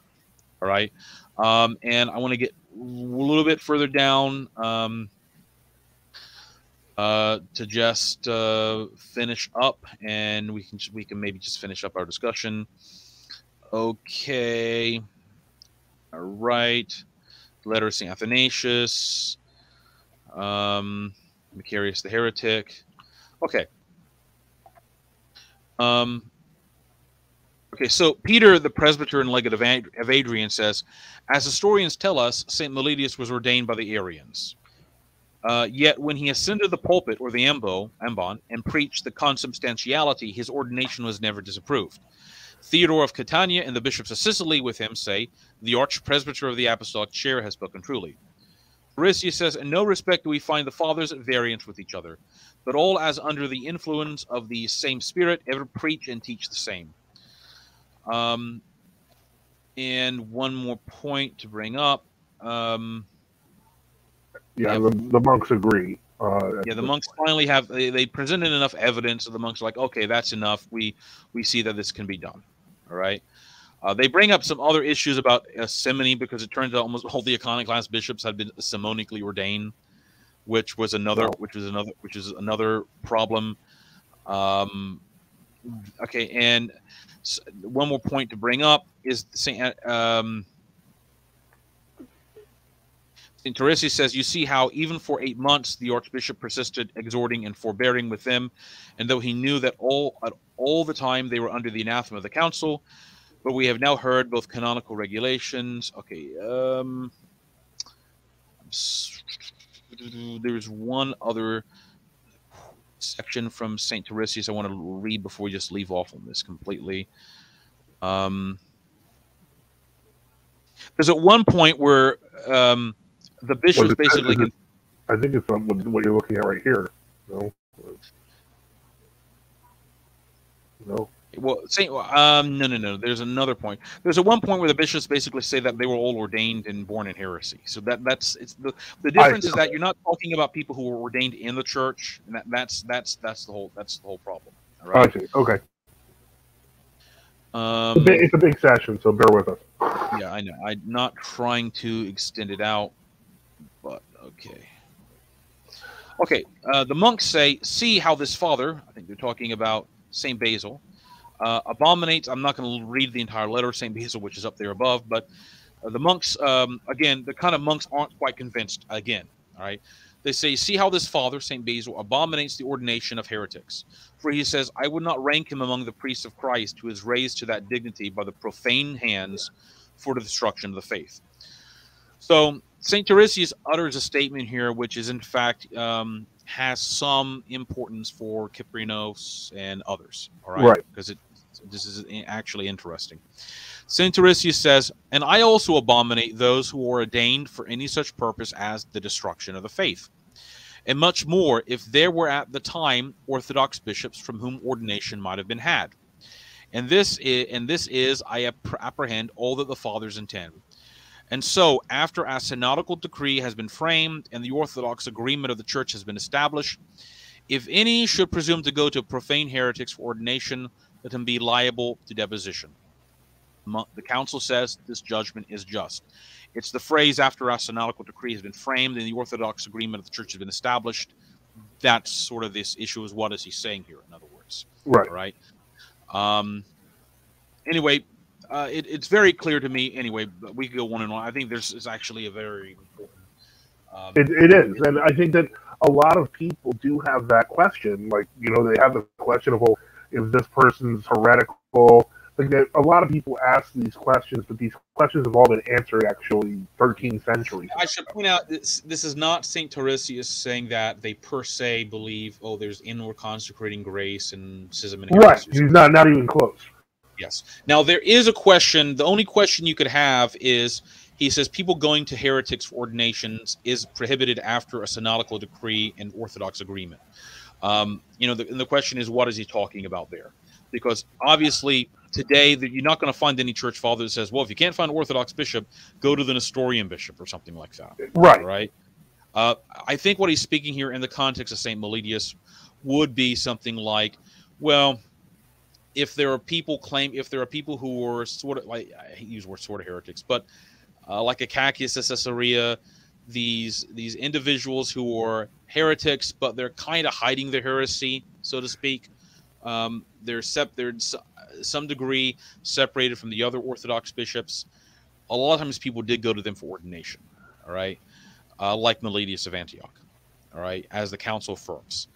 Um, that was ex- that was considered acceptable on those difficult times, but that was not considered, a, you know, in other words, a permanent solution. No, because we want to what Meletius did.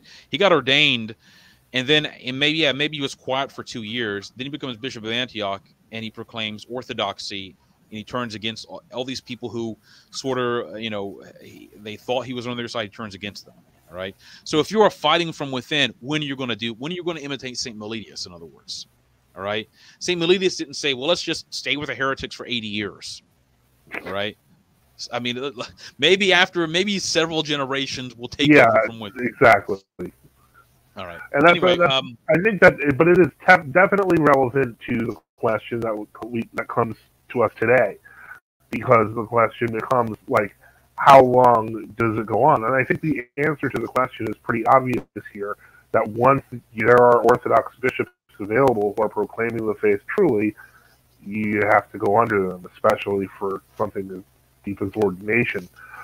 Um, and so that's something that is uh, that needs to be taken. and, and, look, and look what Saint uh, Saint Tarasius says. He says, uh, "But this divine father, Saint Basil, at the time when there were so many Orthodox bishops, had reason to forbid the sons of the church to make use of Arian ordination." So, in other words, if you have Saint Meletius, don't keep on going to a, he's already he's already there. Don't go to Acacius anymore. Right. All right. Don't go to I don't know um, Eudoxus of, of Constantinople or whoever. I mean the, the the break has already happened. There's no need to go go to them. All right.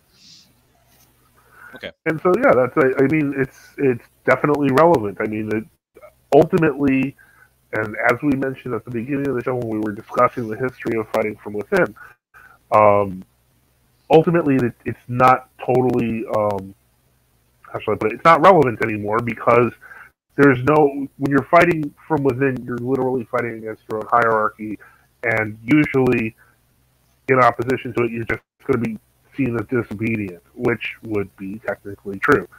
The proper thing to do is to place your obedience under Orthodox bishops. All right. Uh, do we have any questions, Father, in the chat? Um, I, there was a there was a question about the uh, Ro, the ROAC uh, directory, but Father Mark answered that Father Mark actually does have a question, and he said he said, uh, hold on, I would say that given how fast information can be seen and communicated today, it greatly shortens this gray area, right? Uh, yeah, I would say that that's. Uh, I mean, at least uh, from my end, it's unprecedented in how uh, the way information travels now. So yeah, it's very easy. Don't. It's not easy. It's, it's got its own spiritual crises, etc. to do. But the point is, the path is there, and it's. Although I, I, I, let's be frank, some of this wasn't gray back in the 350s or 40s. no, Um, I mean, they they people knew who they, they were Arian. Like Acacius was an Arian. That wasn't he wasn't really hiding that. Um, Right. And you know, there there's now he may have. I think what what happened was this. If you had approached Acacius of Caesarea in the three, like especially after even after he got deposed, uh, so he is deposed. All right. So okay. So you approach him and you say, "Would you believe the Son of God is God?" Acacius would say yes. Now, if he just say, "Well, it's a mystery. I don't want to talk about it to you because you're just a layperson. You don't understand." All right. If you were another bishop who were, he felt was friendly to you, he just straight up say, "Oh, well, the divine properties of the essence are communicated to the logos, but the logos was created." All right. So, in other words, that's Arianism.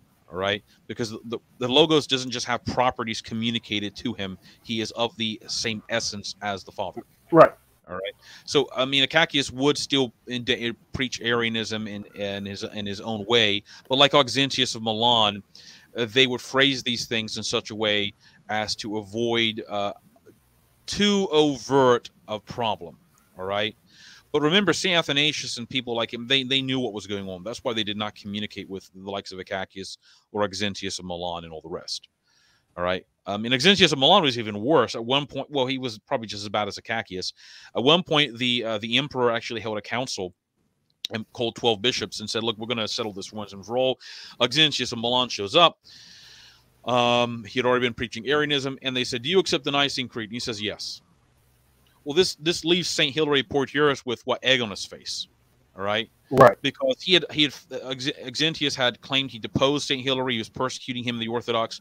Well, then he then Auxentius shows him, says, yeah, yeah, I accept the Nicene Creed. A way, he just lies. In other words. Yeah, and there, right. there are people still doing that. Uh, people still doing that today, and but it's so much easier to expose, and I think that was Father Mark's point. yeah, that, no, I think I, yes, yes, exactly. It's very difficult. To, I mean, you can't have miscommunication today, even worse than than previously, probably too. But you can have you can also expose the truth, and if you're and mm-hmm. if you're misunderstood, you have a way to respond a lot quicker. Exactly. Right? Uh, and, um, and, okay, go oh, ahead. looks like we have a question, but it's half complete. It just says, uh, "I have a question to the local synod or council." I'm assuming that there's another part to that question, um, but uh, we'll give it a minute. Um, but yeah, it's uh, it definitely is. Um, we're in in 2023. It's very difficult to say that we can uh, that we can. Ah, there's the question. Okay. Uh, does a local senator council have the power to bind and loose? Can an anathema be given a lo- given on a local synod apply to all other local churches? Um, I would say yes, but not exactly. Like the churches have local boundaries, and so the anathema would apply through everyone that they have jurisdiction over. But anathemas on heresies, um, if they're heresies, are universally true by their nature. In other words, you can't have like a local synod uh, condemning Arianism, for example, doesn't mean that the question outside of the boundaries of that particular synod um, are irrelevant. That's not how it works. Truth is truth. So all it takes is a local synod or council to bind and loose, uh, and if they're proclaiming the truth, it will filter its way through the church. Well, there, um, remember, if, if, if somebody secretly, you know, comes to believe and teach a heresy, even though they're hiding it from everyone else, uh, what what's happening is they're in deadly sin. God is separating them. Right. Yeah. So even like I even if you had like a like a this is the question about secret heretics. Obviously, if someone's a bishop or a priest and they have a secret heresy, you know, you there's and you're they're part of the church, they're they're formally part of the church. There's no way knowing it without God telling you directly or them explaining themselves. That's why like Canon 15 of the First Second Council says public preaching. All right, bareheaded. All right, because you could have someone like the story of uh, Theodore Mopsuestia. All right, I obviously held heretical views that he was sometimes shot he sometimes retracted how he expressed them all right? So he could retain his see all right? Now does that mean theodore mopsuestius consecrations when he made a bishop or priest or, or, or, the eucharist were valid still well he was still formally part of the church if you know what i mean. Uh, and he had and you can have that with with times when heretics aren't expressing their teachings they're still formally part of the church. Uh, the priesthood obviously is God's; it's not their personal property. But once they publicly start, you know, doing these things, then you then it becomes a different issue. All right. right. Uh, the other point, so there's that heavily anathema that, that you can't you can't escape that. All right. Even if you can escape deposition or whatever, you know, if you die believing something that you know is a heresy, obviously you, are going to have, you're not going, you're not, uh, you're going. I, be judgmental, but you're going to Hades, not the good part of Hades. There's not that is a good part. All right. Um, uh, the other point is when you when local council issues an anathema, um, other churches have to also understand what is being anathematized. Mm-hmm. Right. So if um, you know a church anathematizes, let's say like a let's say a local council in 570 anathematizes aphthartodocetism. Okay which was like Julian of Halicarnassus' heresy. Yeah. Well, if I'm the church, if I'm like a church in Spain or in Fragole, uh, and you know they come in and say we're anathematizing aphthartodocetism, and I, I have no idea what they're talking about. And I mean, uh, the bishops there just may not put it on an anathema; they just may not know what the whole issue is about. All right, so they don't automatically fall under anathema because they don't because they don't even if you know what I'm trying to say they haven't even heard of the heresy. Right. Right. So there has to be some exposure to the issue. They have to know what's actually happening. I ha- hate to say this, but it also can't be a made-up heresy. If you know what you know what I'm trying to say. Yeah. You can't just invent something that something that people are holding. yeah it, it can't just be it's something invented in your own mind uh, for political purposes or what have you i mean if, if you start inventing heresies and claiming people are holding them you actually yourself might be a heretic all right because you know you may hold some weird views anyway um, but Yeah, i'd say a local count local councils anathemas uh, can have uh, you know a, a, a binding authority but you have also have to take into account how much do other local churches know about it all right or So- or are experiencing it. Like for Exactly. example, we talk about the anathema against ecumenism. That was one local council of ROCOR. The entire world knew about it. Though. The entire Yeah. world has picked up on it and knows exactly what it's about. This is not a, um, it's not a how shall I put this? It's It's been not a 40 years now. Pure issue. It, it you know I, I hate to say, it, but you compare it to name worshiping. Um, name worshiping is weird and obscure by contrast, but ecumenism is pretty obvious, pretty well known, all over the place, and it's not like this is like some like secret thing. I mean, you can just Google News and you'll Well, pull up hundreds of articles about ecumenical meetings and stuff. They're all prohibited by the canon. Yeah, and, and also remember if and with some of these uh some some ecumenists, if you go to them and you say, "Do you believe the Orthodox Church is a church Christ founded?" Many ecumenists in the patriarchates will say, "Yes, of course we do." Right? Mm-hmm. But their other teachings, if I mean some of them probably don't, but many of their other teachings essentially deny that. All right, and their practices. All right. So just like you could go to Auxentius of Milan after his meeting with the emperor and the ten bishops or twelve bishops, and he could say, "Yeah, I accept the Nicene Creed." Well, then he goes back to preaching. Then he goes back to Arianism, just preaching Arianism. All right. I, I think a Uh, perfect contemporary example of this is the commemoration of the Pope whenever the Patriarch of Constantinople gets together with him. This Yeah. is not only documented, but they have video of it. Now, it follows that if you truly believe that the Orthodox Church is the church established by Christ, then the Roman Catholic Church is not. However, when they get together in meetings, in these ecumenical meetings, they always commemorate the Pope of Rome first as though he is an Orthodox bishop.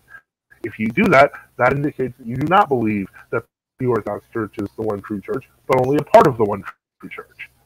There's the difference. and it's not like people don't know about the heresies of papism. It's been a long time, Yeah, that, that's kind of been condemned for a few hundred years now. So or yeah, like 900 years. Yeah. Yeah. Exactly. 900 years, and then recon- reconfirmed in two different pan-Orthodox condemnations. Yeah. Exactly. So the idea that it's like, oh, but maybe they've changed. No, they haven't. If they if they And change, they become worse every century. It's become Yeah. worse. and that's the worst part of this is that ultimately it, it's um this is obvious.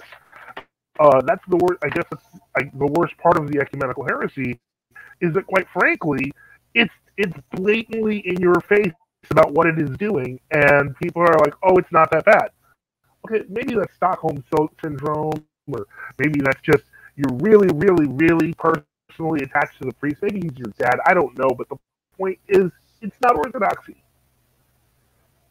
And yeah, Father Mark makes a great point that the video photographic evidence of ecumenism alone is enough for deposition. It absolutely is. And they take advantage of the fact that they're entrenched hierarchy, which is producing more ecumenists, will never do that for them. They're falling away from the church. I mean, I've yet to see where. I mean, I've yet to see the Meletius of Antioch arise from any of these fighting from within people. Which is because they not, never, not they never make well, it the, they, they did arise. It happened decades ago, and they became true Orthodox. I mean, yeah, exactly. Um, a lot of people just got out. Uh, now, now you mentioned the part about Kyprianos and the fighting from. I, I'd like to make a point about that. Years ago, when I was on Facebook, um, there were there were people who like like they started discovering like you know old Kyprianite writings, and then they Yeah. learned the Synod and resistance sort of dissolved and joined uh, the Kalinikites. Uh, yeah, Yeah, right. Okay. it, yeah. So they, they essentially just disintegrated and just joined them. Okay. And they were like disappointed. They were like, well, why didn't they wait longer? And, and, I said to them, look, you know, people like you, I'm not, I wasn't trying to be mean. You were attacking Kyprianos 20 years ago. All right. Uh, I mean, it's, Now you're just almost- hoping he's right. it's almost yeah it's almost like uh you know people you you sort of bend over backwards for people uh who despise you and they and they hate you and they say everything they can everything in the book about you. And then when you're gone, they're like, "Oh well, I wish he was still around." But do they really? Or yeah, it- it's it's it's a it's a two edged sword. I, I don't know if that's the right analogy. Yeah, and I, I think I think uh, that makes a lot of sense. It's kind of like uh, I think what what is ultimately uh, happening, and we're going to keep seeing this because again, there's Father Peter, and then you have the case of Father Theodore Zisis and his group. And I remember you had actually, I think, sent me a video of one thing where he was like, "We're not going to do it like the old calendarists. We're going to do it right this time." And It never like turned out. it never turned out. It's it's literally like five or six priests. I think he was calendars. hoping that he, he called Seraphim Piraeus the lion of orthodoxy, but Seraphim never came to his help. He never came to his aid. Nope. Uh, Nope. They're not going to they're not going to do anything. Uh, remember, Seraphim Piraeus is busy most of the time condemning the Serbian patriarch for not having valid baptism. Uh, I, mean, it, it's it, it's there's, there's all you know. Uh, that's that's actually an, another issue entirely about that goes back to the like 18th century. So there's other, you know, but I mean, it it's- almost like Seraphim Piraeus is like there to say crazy things and to like for people to point. I mean, I'm almost I'm a little conspiratorial. he's a, he's a he's like a pressure release valve. Yeah, they allow maybe maybe he, he probably believes this. They just allow him to there to say you know he says enough like anti-ecumenical things and he says like something crazy. It's uh, genuinely crazy, not just like. Cons- I mean, there's a lot of conspiracies, you know, and and I, you know, I don't think there's any problem with that. Controlled opposition. Yeah, I mean, you don't have to be. You yourself don't have to know your controlled opposition. That's actually the best topic: controlled opposition. Yeah, I mean, You're allowed to exist. Exactly. Uh, and he never really does anything. He can't. He can't really do anything, even if he wanted to.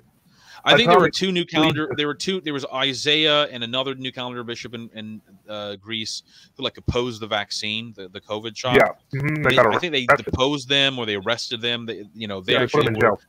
Yeah. Now, uh, Atomic League wants to follow up on what's wrong with the. I guess he wants to know what is uh, Seraphim of Piraeus. Uh, well, issue. Seraphim of Piraeus' view is that the Serbian patriarch hadn't had like canonical baptism since like the 1750s. Um, part of that is it, it is pretty documented. If you, I mean, you if they, you look they, at, they, um, they they fuse, don't they? They like four. um, I mean, it, it's it's at, in Serbia. The general. I mean, I'm sure you can find a priest or who doesn't do this, but if you can find enough documentary evidence that you know since probably the 1750s, maybe under Austrian influence, I'm not quite sure. Um, the Serbs uh, have not uniform have have been like would put the baby in the font and they pour water over the baby. Uh, it would be more like profusion baptism. Uh, in fact, that created such a controversy that um, like the old believers in the 1840s when they were going around to all these uh um like balkan bishops trying to find somebody who would do a, consecration for them all right um they like universally rejected the serbs because they said oh they're not even really baptized wow. now i'm not i'm not saying that because it's obviously old believers um Yeah. um obviously you know the church never broke communion with them um over the question you know, over the question.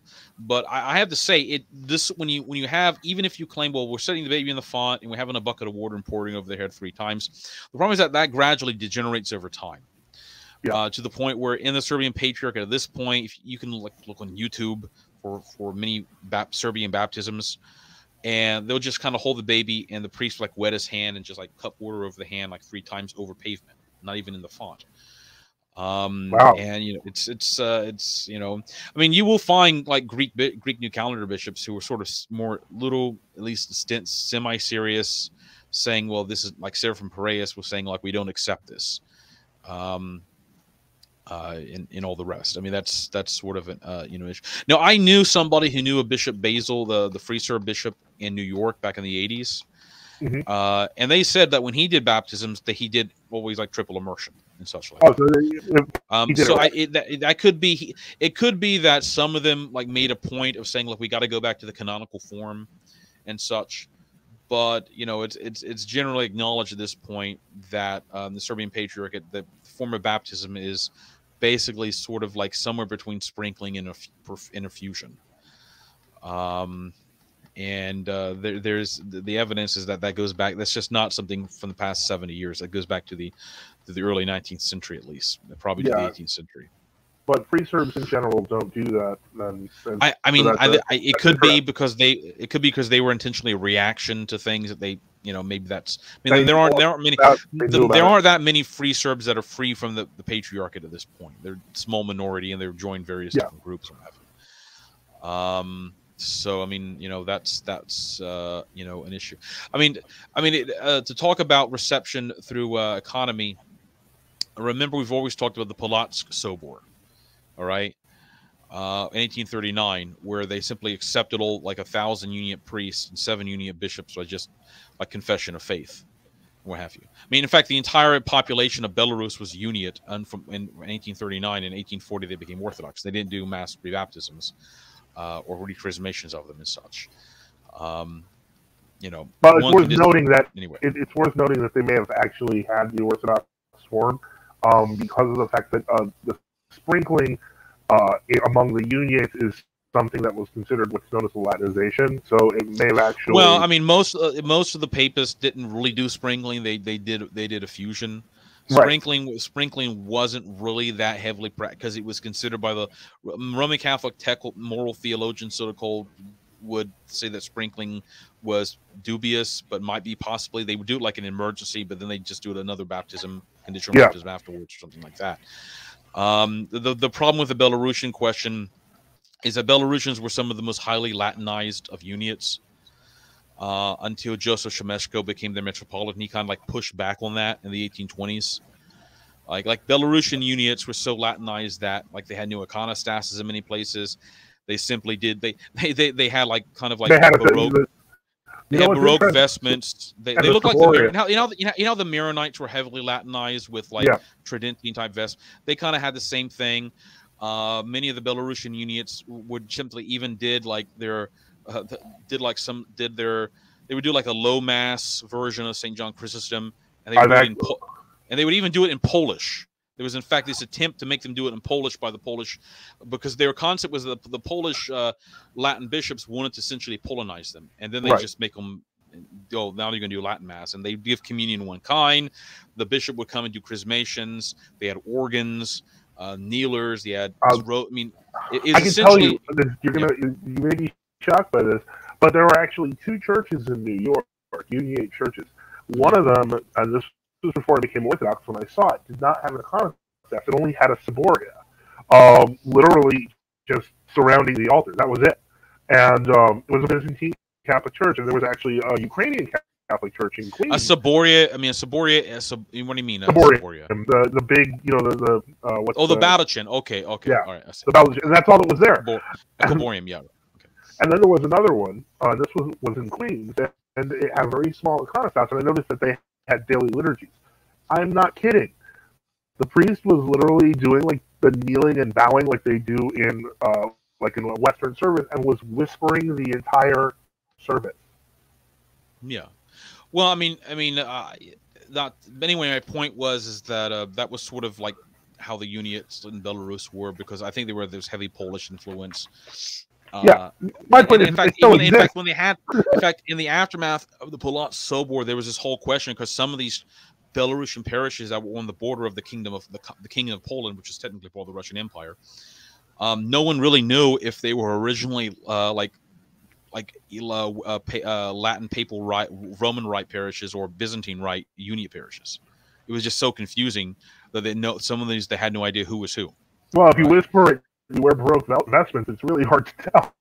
Well, the problem is that most of the Belarusians Uniates did that. Exactly, you're right, and that's why it was a problem. So Semashko kind of had fought back against that, and then eventually they all became Orthodox and such and all the rest and which is which would and if you look at and you know obviously the uh seventh ecumenical council's first session would have been an example of uh, them using like a, a, broad economy and receiving them but of course the economy was always presupposed upon them maintaining the correct or at least this the the, the general correction general correction of external forms right? And and this is something i've noticed with people when they they don't they, they sort of say that oh it's all the same outside the church. And yeah that's true they're all outside the church but there are degrees to which you can examine uh heretics and yeah. to how to, for example if there's some baptist no there's no you can't use economy with with protestant orders because there's no form it doesn't even exist right um it was just be impossible okay Um, even if a Well, I Baptist mean- came to you and said he he was doing the Byzantine liturgy and he,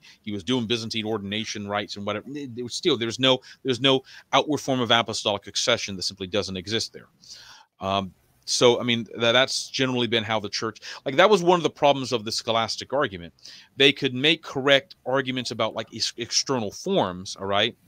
Uh, their mistake was simply assuming that this automatically is conveying, you know, uh, con- the Some kind interior of- consecrating grace. Yeah. All right. So Some kind of anyway, um, inspiration. okay, I think we've uh, gone along enough, uh, Father. I think so, and it was great to have everyone here. Um, we haven't really decided on how many, you know, things we're gonna do in the future because we're still working with different things, and we're gonna do. We're, we'll be back soon, um, hopefully. But uh, yeah, it's been a busy time. Um, it's always you can always reach out to us. Um, if you know us, uh, we're both on Element. We're on Gab. Um, I don't know. Are you still on Minds? I mean, I'm on a few, Uh, few of these. maybe I don't. Yeah. I don't really. I'm Know. on a few of these like pro-Trump things, like Truth Social, that I never use, or Parler. Uh, so but mostly on Gab. anyway, No, I now. By the way, um, before we go, uh, someone had asked me yesterday, uh, Saturday, maybe Friday, uh, about a reference in the commentary on the exposition of the Psalms by Saint Cassiodorus um, on Psalm 61. Saint Cassiodorus uh, reposed in 585. Uh, he died at the age of 100, by the way. Uh, he was an interesting figure. He wrote a number of works. Anyway, um, so this uh, person I know asked me, well, it seems to say that he's teaching, you know, uh, obviously like some sort of something that the Holy Ghost proceeds from the Father and the Son in the text, because the standard English translation renders it as that. Okay. Uh, of course, the problem. I made a gab post about this. I don't, you know, for what it's worth. Uh, would I sort of explain it? Uh, I maybe I could. actually putting it up. Okay, you are okay. Um, okay. So, uh, so I thought, well, before I call, I called this, uh, I called this, uh, called him back around. I was going to call him back around three o'clock, but I said today, um, after I got out of church, and I said, well, let me look at the manuscript. I, I want to look and see if I can find the earliest manuscript of Saint Cassiodorus's commentary on the Psalms, because I'm, I'm just just to make sure. So I found that there's a Durham manuscript came, uh, carried in Durham University. Um, I don't know if you can make you can just click on the uh, the number. You can make it bigger, so it probably just only has the. Oh yeah, yeah, yeah. Hold on. Okay. just, uh, So I looked it up, and I had opened up the Patrologia Latina version, which is like a clean Latin version. All right, and I had in two different tabs. And um, so the there's a earliest manuscript or complete manuscript or any manuscript, I guess, the St. Cassiodorus exposition is from Northumbria, or copied in Northumbria from the 700s, the Kingdom of Northumbria, which is in, which was in uh, is in England. Um, and uh, what I discovered is that after about 20 minutes of searching, because you know how you know you have to go through the manuscript, um, I found Psalm 61 in the manuscript. I found uh, ver- the commentary in verse one, and lo and behold, uh, the Saint Cassiodorus in the in the oldest manuscript says nothing about you know uh, you know sat set pat uh, something like set. He doesn't say said patre uh, et filia or et filio procidentum or something. All right. In fact, the, the, the, four verses that the Patrologia records are not even extant. The four last verses of these, this, and the four last sentences in Latin are not even there in the oldest manuscripts. All right. So oh well, yeah. That's you know, I so I told I told I said I said Boniface, look, you know, this is this is the kind of hermeneutic to follow. First, did a father say this? Two, is an interpolate? If if is it really is an interpolation or is it a uh, forgery? Because if that's the case, we don't even need to go down the route of, of looking at it, right? And it turned out this is not genuinely part of Saint Cassiodorus's works. Um, so you know, and I and I say something like um, I say, well, it would be erroneous, I think, to simply, you know, basically to say every interpol, every filioque reference in the early Latin father in a father is interpolation, um, because I think there the ones are in Saint Ambrose are probably at least one or two are probably genuine, uh, but I don't think he's teaching what later was taught. Um, that um, that uh, you know, there probably are a lot more than people are now are are, are, are comfortable admitting, right? So if we go suddenly from 100 references to, let's say, there's really only 15 or 20 genuine, yeah. maybe at most ten, maybe ten even references in, in, in the Latin Fathers. Well, this is this is, this is sort of problematic, especially considering the fact that you know a massive case was based upon interpolated and forged text. Now, I don't blame the people in the 9th, 10th, 12th, whatever, 11th century who simply thought, well, this, this is what it says. All right. Right. Because obviously, if someone says, here's the earliest manuscript of St. Ambrose, here's what he says, um, I'm not going to omit the text if that's what he says. Okay. If I believe that's what he says. Okay. Uh, and because if you start omitting text, even because you think a father misspoke or you don't like the phrase he used, then you're you're participating in something that's not actually that's that's, that's dangerous to uh, to to tamper with. You're you're doing something in reverse to what these people did. Okay. Um, so, um, you know, and, and, you know, St. Photius's hermeneutic was essentially that one, okay, is, is it actually, a lot of people say Saint so-and-so said this. Well, first off, look up the passage. Did he actually say that? Or is that someone's interpretation of what he said? And I find in many cases, Saint so-and-so, or I'm not, not to, not, not to be flippant, like never said what they said he said. Like I've said, yeah. heard people say Saint Augustine said, uh, Saint Augustine said that this is the claim that um, matter was evil. Well, no, n- he never said that. Or Saint Augustine said, um, you know, uh, human nature ceased to be in the image of God after the fall. No, he never said that. Saint Augustine, or they will say Saint Augustine believed human nature became essentially evil after the fall. In fact, he explicitly declaims that through his entire life. What they're trying to say is if you logically follow some line of argument down the road, if A is B, B is C, when you finally get to M, this implies this. All right. And it's a tortured logic, so to speak. So, first, do they say it? Secondly, is it a genuine passage of the fathers? Is it, a, is it even a genuine work? If it's a genuine work, is it an interpolation in a genuine work? If you sort of go down those those two or three points, you find that 90% of your problems evaporate about patristic difficulties. All right. Yep. Uh, and if you follow the, the logic for the third point, if, if it's genuine, uh, the after question is what did the father mean? Did he mean what people later later saying he meant by it? Why did he write it? Did he hold that position continuously? All right. Um, and only as a last resort, like with Saint Photius and, and, and I myself would agree, would we say that a saint was mistaken or an error after we've gone through this whole series of events, a series of uh, of, um, of questions about it.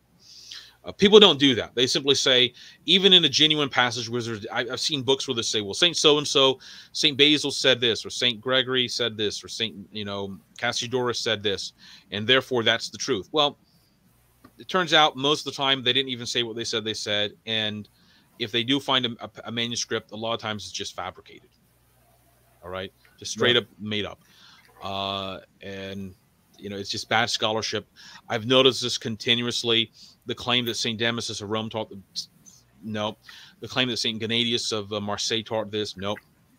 Uh, the, the claim that they can that uh, the, Isidore of Seville. Yeah, exactly. I mean, even the even the supposed genuine reference in his etymologies has problems with it because uh, you can look in uh, the in the in the manuscripts, and people have noticed this before, not just as Zorn, Zernikoff, where uh, the where it supposedly says he's teaching the filioque, assuming you know whatever he's teaching, if, if it's even the later understanding, uh, the way he uses the word eius, all right, when referencing, uh, which is a um, you know his, it, but in later manuscripts you find them used like in Latin many Latin published editions they'll change it to aorum because it doesn't make grammatical sense for him to say eius in reference to the to the uh, the Holy Spirit proceeding all right? Because he's proceeding not why would he say that he proceeds from the father and the son? He he proceed the spirit is his you'd have to look at the text to, to understand what yeah. i'm saying. Um and, and, just like the uh there's another work of saint isidore seville they claim to have the filioque and if you look in the earliest manuscript in the 700s it's very clear. You can see in one manuscript someone wrote et patre filioque over the text. And then the next scribe who copied it they actually wrote ex patre ex patre filioque wow. which doesn't make any. In other words, they just the next scribe because a lot of scribes they're not you're not saying 90 i'm not saying 99% of scribes were intentionally corrupting things they're just saying well someone wrote this over the line maybe this is actually part of the text i'm just sort of almost like in a robotic sense people just copy things yeah all right so if you mess up if somebody puts even like an, a marginal note over something, uh, that can be copied 10 years later by a scribe just thinking that's originally part of the text. Right. And that happens a Uh, lot. and, and that and that creates problems. It, it, it doesn't mean 90 is there was one person who claimed I was trying to say the entire Latin patristic or even the Greek patristic uh, textual tradition was corrupt. No, I never said that. I'm saying uh, you can have 99.99% of the text be authentic, and I think that's accurate. Okay. But a 0.001%, you're talking about the word, just the compound word filioque or et filio, and that can have profound effects down the road. Like, you know, in the book of Revelation, at the very end of it, um, uh, the, I think the angel says to Saint, John- you know, says, "Curses anyone who adds or takes away from the prophecies of this book." All right, Right. Uh, and I think we can ex- extend that to say that you know that's a principle.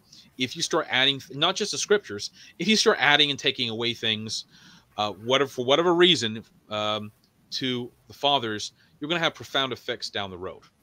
All right? Mhm. even if they had, even if they didn't necessarily. I mean, I I think I'd, something else was going on when people were adding this stuff here in the marginal notes, but you're going to cause all kinds of damage. All right, and you're going to get to the point where you have like 13th century and the 1200s in England, like uh, like John Peckham, who is the Archbishop of Canterbury. I mean, in his Quodlibet text, he'll say things like, "Well, you know, the filioque isn't logically necessary, and the, it's not even necessary from the patristic texts, but because the you know, uh, but because the Council of Lyons in 12 whatever 1200s decided it was so, I have to accept it, even though I don't think it's necessary to accept it." All right, and then there was these, I mean, eh, or Thomas Aquinas. I mean, I mean that's actually a sad case where you had people like Robert Grosseteste or even John Peckham. I think actually probably realized there were real problems with it. All right, um, they were educated enough to know that, but they were almost trapped in this system where, well, you know, you know, I guess they they claimed there was an ecumenical council claiming it, and you know, you had Aquinas writing his uh, erroneous text, you know, against the errors of the Greeks, which is just ninety percent or eighty percent made up of interpolations, uh, and people just said, well, I, you know, they were claiming Saint Athanasius taught the filioque. All right, you're just claiming Saint Basil taught it, just forged material. If that's what you have, then I guess you're going to go down that route, and it's going to lead uh, to wild deformations and major problems. So, so that's why don't mess with text, don't mess with uh, the the textual tradition. Um, and it's important to actually have critical editions. Great. I was going to say that there's really provides value, and we really need more of them in the patristic space. Um, they, they will help a lot. Well, I was going to. I was looking up actually the CC the CCSL, um, which publishes critical text. Uh, but a lot of the like I was going. I was looking up the version for the exposition of the Psalms with Saint Cassiodorus and the two volumes of it, and they're like 180 200 dollars a volume. And I'm, I'm simply not going to buy buy that. Wow. Um, and uh, if they had it for a free PDF, I'd look at it. If it was even twenty dollars, I'd, I'd probably buy it. But you know, I don't want. I I have I, I because I have bought, and that's the other point. I have in some cases bought critical texts, all right, that were like twenty dollars or so. And in some of those cases, I have done manuscript research independent. I can't quite remember the case of it, where I've shown that the critical text actually weren't as good as independent research. Wow. So even even there, you have to be careful, and you need to actually do. a You're going to have to do a little bit independent research because you look, you're having people like Siecienski, who you know may be a genuine man, but he's an ecumenist, publishing books about the filioque, claiming like Damasus and Gennadius taught the filioque, an exploded idea. A. E. Burns uh, showed that how erroneous that was in 1890. You can look at the crit, even the modern critical editions of Gennadius, and you can say that's not the case. All right. Wow. Um, I remember Basil Polivka that I used to interact with on um, uh, Facebook years ago.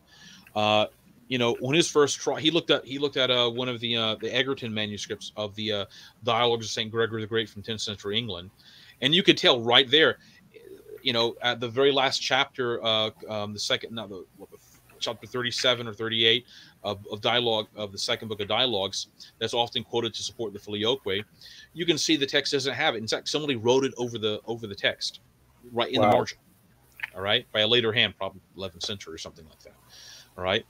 Um, but if you look in a lot of these um, you know standard editions they'll just say oh no he taught it or something like that Right. um, It, it's and- just assumed, and there's so much um, in modern academia, especially in ecclesiastical circles, that is Well, just Look, assumed. look, here, if if it was shown that eighty percent or ninety percent of filioque references in Latin Fathers were interpolations, and only ten percent were genuine, uh, that would be devastating. Yeah. All right. Now it would be devastating. Now today, w- I mean, I don't think it would be devastating to the ecumenists because they probably don't care that they, they've moved beyond even caring about those things. I I think it would be devastating to people who are actually concerned about these issues. yeah, right. like more traditional Roman Unfortunately, Catholic. unfortunately, however, there are others who claim to not to be ecumenists who would say things like, "Who cares about the filioque?" There are these abstract arguments about um, how the West or the East differed from the fourth century, and Right, that's when you it devolves right back into scholasticism and bad history. yes, like uh, there's this uh, fellow called David Bradshaw who says, you know, oh well, why were they even talking about the filioque and unleavened bread? That didn't really matter. It was really this argument about. But uh, did they accept Cappadocian fathers or understand them correctly, or they didn't? And that's these other issues had no had no real impact. um, and it's it's sort of frustrating to to to see people say that. Now he may, you know, have his own views about that. They're probably wrong, uh, but you know, again, I've I've encountered these these individuals where you can say, look, you know, these are interpolations. Uh, I mean, even now they're sort of admitting that at the very earliest, the filioque didn't show up in the in the Spanish church until at least 653, which has been a major change. Now that that's a, that's a major admission. I think it's much later, but you can see how. They're slowly moving the goalposts.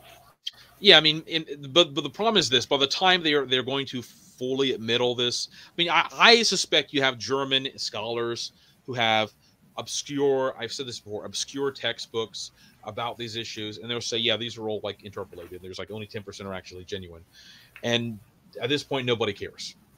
I mean, we care, Yeah. um, but most of those people they don't believe really in any religious questions anymore.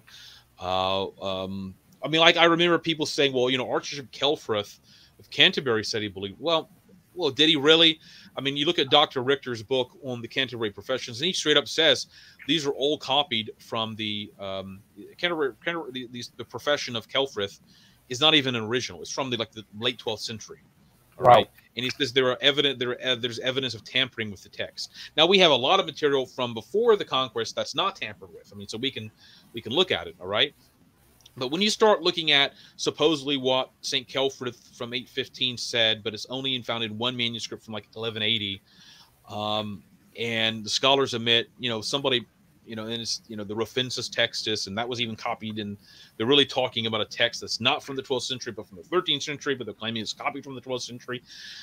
Um, and you're trying to base your whole dot, your whole point on that. I mean, you're, you're running into a lot of problems. All right.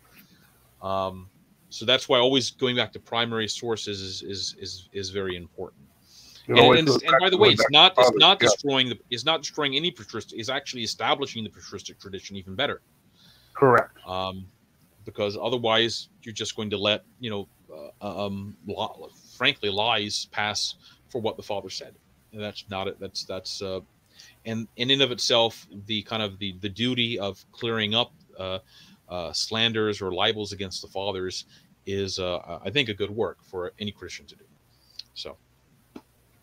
All right. Well, um, I think that should wrap it up. We're at just over two hours, and I'd like to thank everyone for listening, everyone who commented, everyone who was here um, for being here, and um, we'll be back soon.